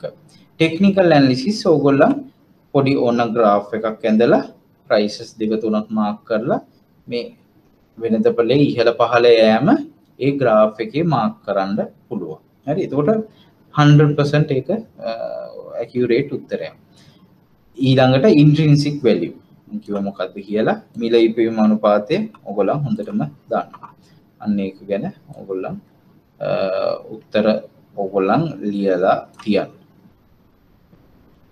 Uh, සමාගම් සම්බන්ධ uh, සමාගම් අගේ කිරීම සම්බන්ධ සල්කල්ප සහ ආකෘතින් ආයෝජකින් භාවිතා කරනු ලබන ප්‍රායෝගික අවස්ථා හතරක් දක්වන්න. අන්න ඒක මේ අපි කරපු දේවල් වලින් අනුසාරයෙන් ඕගොල්ලන් හිතලා මේම කරන්න ඕන ප්‍රශ්නයක් ඔන්න ඇවිල්ල තියෙනවා. හරි? ඒක ඔගොල්ලන් හිතලා ලියන්ඩ කොහොමද විශ්ලේෂකයන් ආයෝජකින් කොහොමද භාවිතා කරන්නේ සමාගමේ අගේ කිරීම පිළිබඳ සංකල්ප ආකෘති මොනවද? ටෙක්නිකල් ෆන්ඩමන්ටල් ඇනලිසිස් ඊට පස්සේ ප්‍රයිසිං මොඩල්ස් අපි අර මිල ගත්තා. එකන කොටසක මිල ගත්තා. ඒවා කොහොමද ආයෝජකින් භාවිතා කරන්නේ? හරි. තොට කියන විශ්ලේෂණ ආකෘති සහ uh, සමාගම් මිල ගන්න අපි ක්‍රම කිව්වා. හරි. අන්න ඒවා හෝ මොන වගේ තැන්වලද භාවිතා කරන්න? එකක් තමා uh, කොටස් වල සාමාන්‍ය ආයෝජන කටයුතු සඳහා භාවිතා කරනවා. ඉරසේ විශාල සමාගම් අනෙකුත් සමාගම් අත්පත් කර ගැනීමේදී පවරා ගැනීමේදී මම මේක වැඩිපුර කතා කරනවා මර්ජර්ස් ඇන්ඩ් ඇක්විසිෂන් කියන ලොකු පාඩමේදී. එතකොට අත්පත් කර ගැනීමකදී සහ පවරා ගැනීමකදී වගේ ඒ අති විශාල මේ මේ ගනුදෙනුවකදී ඒක භාවිතා කරනවා. ඊට පස්සේ සමාගම විකිනීම සම්බන්ධයෙන් ඒ අගේ කිරීම ඕනෙද සමාගමේ අගය දැනගණ්ඩ ඕනේ සමාගමක් විකිනීමට ලක් කරන අවස්ථාවක ඒ ඒ අගේ කිරීම සම්බන්ධ ඒ ගොල්ලන්ට දැනීමක් තීන්ඩුවන තකොට මේ සංකල්ප සහ ආකෘතිීන් භාවිතා කර ඊට පසි සමාගමේ අගේ අගේ ඒගොල්ලන්ට තක්සේරුවක් ලබා ගැනීමට තමන්ගේ සමාගමේ වටිනාකම ගැන තක්සේරුවක් ලබා ගැනීමට ඒ අගේ කිරීම් ආකෘතින් අපි යොදාගන්න ඒ වගේ මේවා කීපයක් තියෙන මං වන් බයි වන් එතකොට ඔගලන් ඒකට ඩව් නං අපි ඒකට කතා කරන්න පුළුව මේකත් මං එහෙම්මම මගේ තියරි නෝට් එකෙත් තියෙනවා. ඇබ්සලූට වැලුවේෂන් රිලටව් වැලුවේෂන් මෙතඩ්ස් මොනෝද කියන ඊට පස්සේ පර්යේෂණ සහ අගේ කිරීමේ වාර්තාවක තියෙන්න ඕනේ මොනවද කාරණා කියලා. ඒකත් එහෙමම මගේ පහු නෝට් එකේ ඔගොල්ලන් බලන්ඩා පහු දැන් ඔගොල්ලන් තේරෙනවා මේ මේ ඔක්කොම විභාග ප්‍රශ්න. මේ මේ අන්තිමට කතා කරපු හතරම විභාග ප්‍රශ්න. එතකොට ඒ ඒ දේවල් ඕගොල්ලන් හොඳටම අරවට රිලේටඩ් ගණ්ඩ ඕනේ. මං මේක ගැනයි උඩ මේ ලොකු ප්‍රශ්නයයි මං අනිත් සතිය කතා කරන්නම්. මේකත් ඕගොලන්ට ප්‍රශ්නයක් නම්. හැබැ අනිවාර්ය වශයෙන්ම ඔගොලන් කරලා ඕගොල්ලන්ට ප්‍රශ්නයක් වෙන්න ඕනේ එක මම ඩිස්කස් කරන්න. නැත්තම් මේ විදිහට අපිට කතා කර කර ඉන්න පුළුවන් ගොඩාක්. ඒවට ඕගොල්ලන්ට ඒක හරි ගැම්මක් එන්නේ නෑ විභාගේ කරනකොට ඒ වෙලාවෙදි රයිට් අපි ඊළඟට හිමිකම් හා වත්කම් එක අනිත් සතිය කරමු. ඒකක බාර ඊට පස්සේ තමා මේ අපි සෙකරටයිසේෂන් කියන වගේ ලොකු පාඩමකට එන්නේ. මම එන සතියේ මේ රකෝඩිංක මට කරන්න හම්බ වෙන්න අපේ සේෂන් එක කටිනියව කරන්න වෙන්න එන සතිය මේ ඉරිදට මං ඒකට රෙකෝඩිං එකක් අප්ලෝඩ් කරනවා මේ සතිය මැද. එතකොට ඔගලන්ට වීකෙන්ඩ එක හරි අයිබසල්ලගත් එක කනෙක් වෙලා බලන්ඩ පුළුවන් ඒ වීඩියෝ එක. මොකද එන ඉරිදා මට ඉන්ඩ බැරිවෙන්න ප්‍රශ්නයක් තියෙනවා. එතොට ම මේ සති රෙකෝඩීන් එකක් කරලා ඔගොල්ලන්ට දාන්නම්. ගාරුවාද බදාද වගේ වෙනකොට රෙකෝඩීන් එකක් මං සම්පූර්ණ කරන්නම්. අපි කරපු පාඩමුත් එක්ක අපි ටිවිෂන් මේ එකක්. ඊළඟට සෙකරටයිසේෂන් එකට ලැස්වෙන්න එන සතිනම ඊට පස්සේ සති ලයිව් මේ එකක්. එක අත්‍යවශ්‍යයෙන්මින්ඩ සෙකරටයිසේෂන් ඩිරවටස් කියන ස්ට්‍රක්චර් සිකටස් පාඩම එක එක අත්‍යවශ්‍යයෙන්ම ගොල්ලන් ලයිව් කනෙක් කලා මේෝ කරගන්න මොකත් ගොඩක් ප්‍රශ්න මැදින් මැදින් එන්ඩ පුළුව එක අමාරු පාඩමක්. වෙන වෙන ඔගලගේ අනි සබ්ජෙස්ටලින් කව වෙන්න නෑ ඒකයි මං කියන්නේ. එතනින් පසේ මජසැනෙක් විෂයන් ඒ ටික තියෙනවා. ඒ ඕගොල්ලන් පාඩම්ට ලයිව් කනෙක් වෙන්න.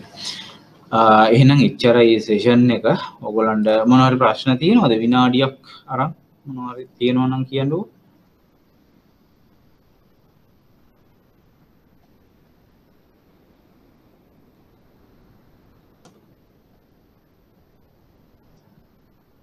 තියෙනවද?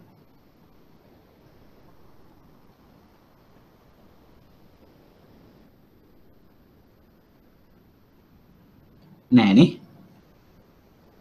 රයි් එහෙනම් අපි සේෂන් එක මෙතනින් මේව කරමු.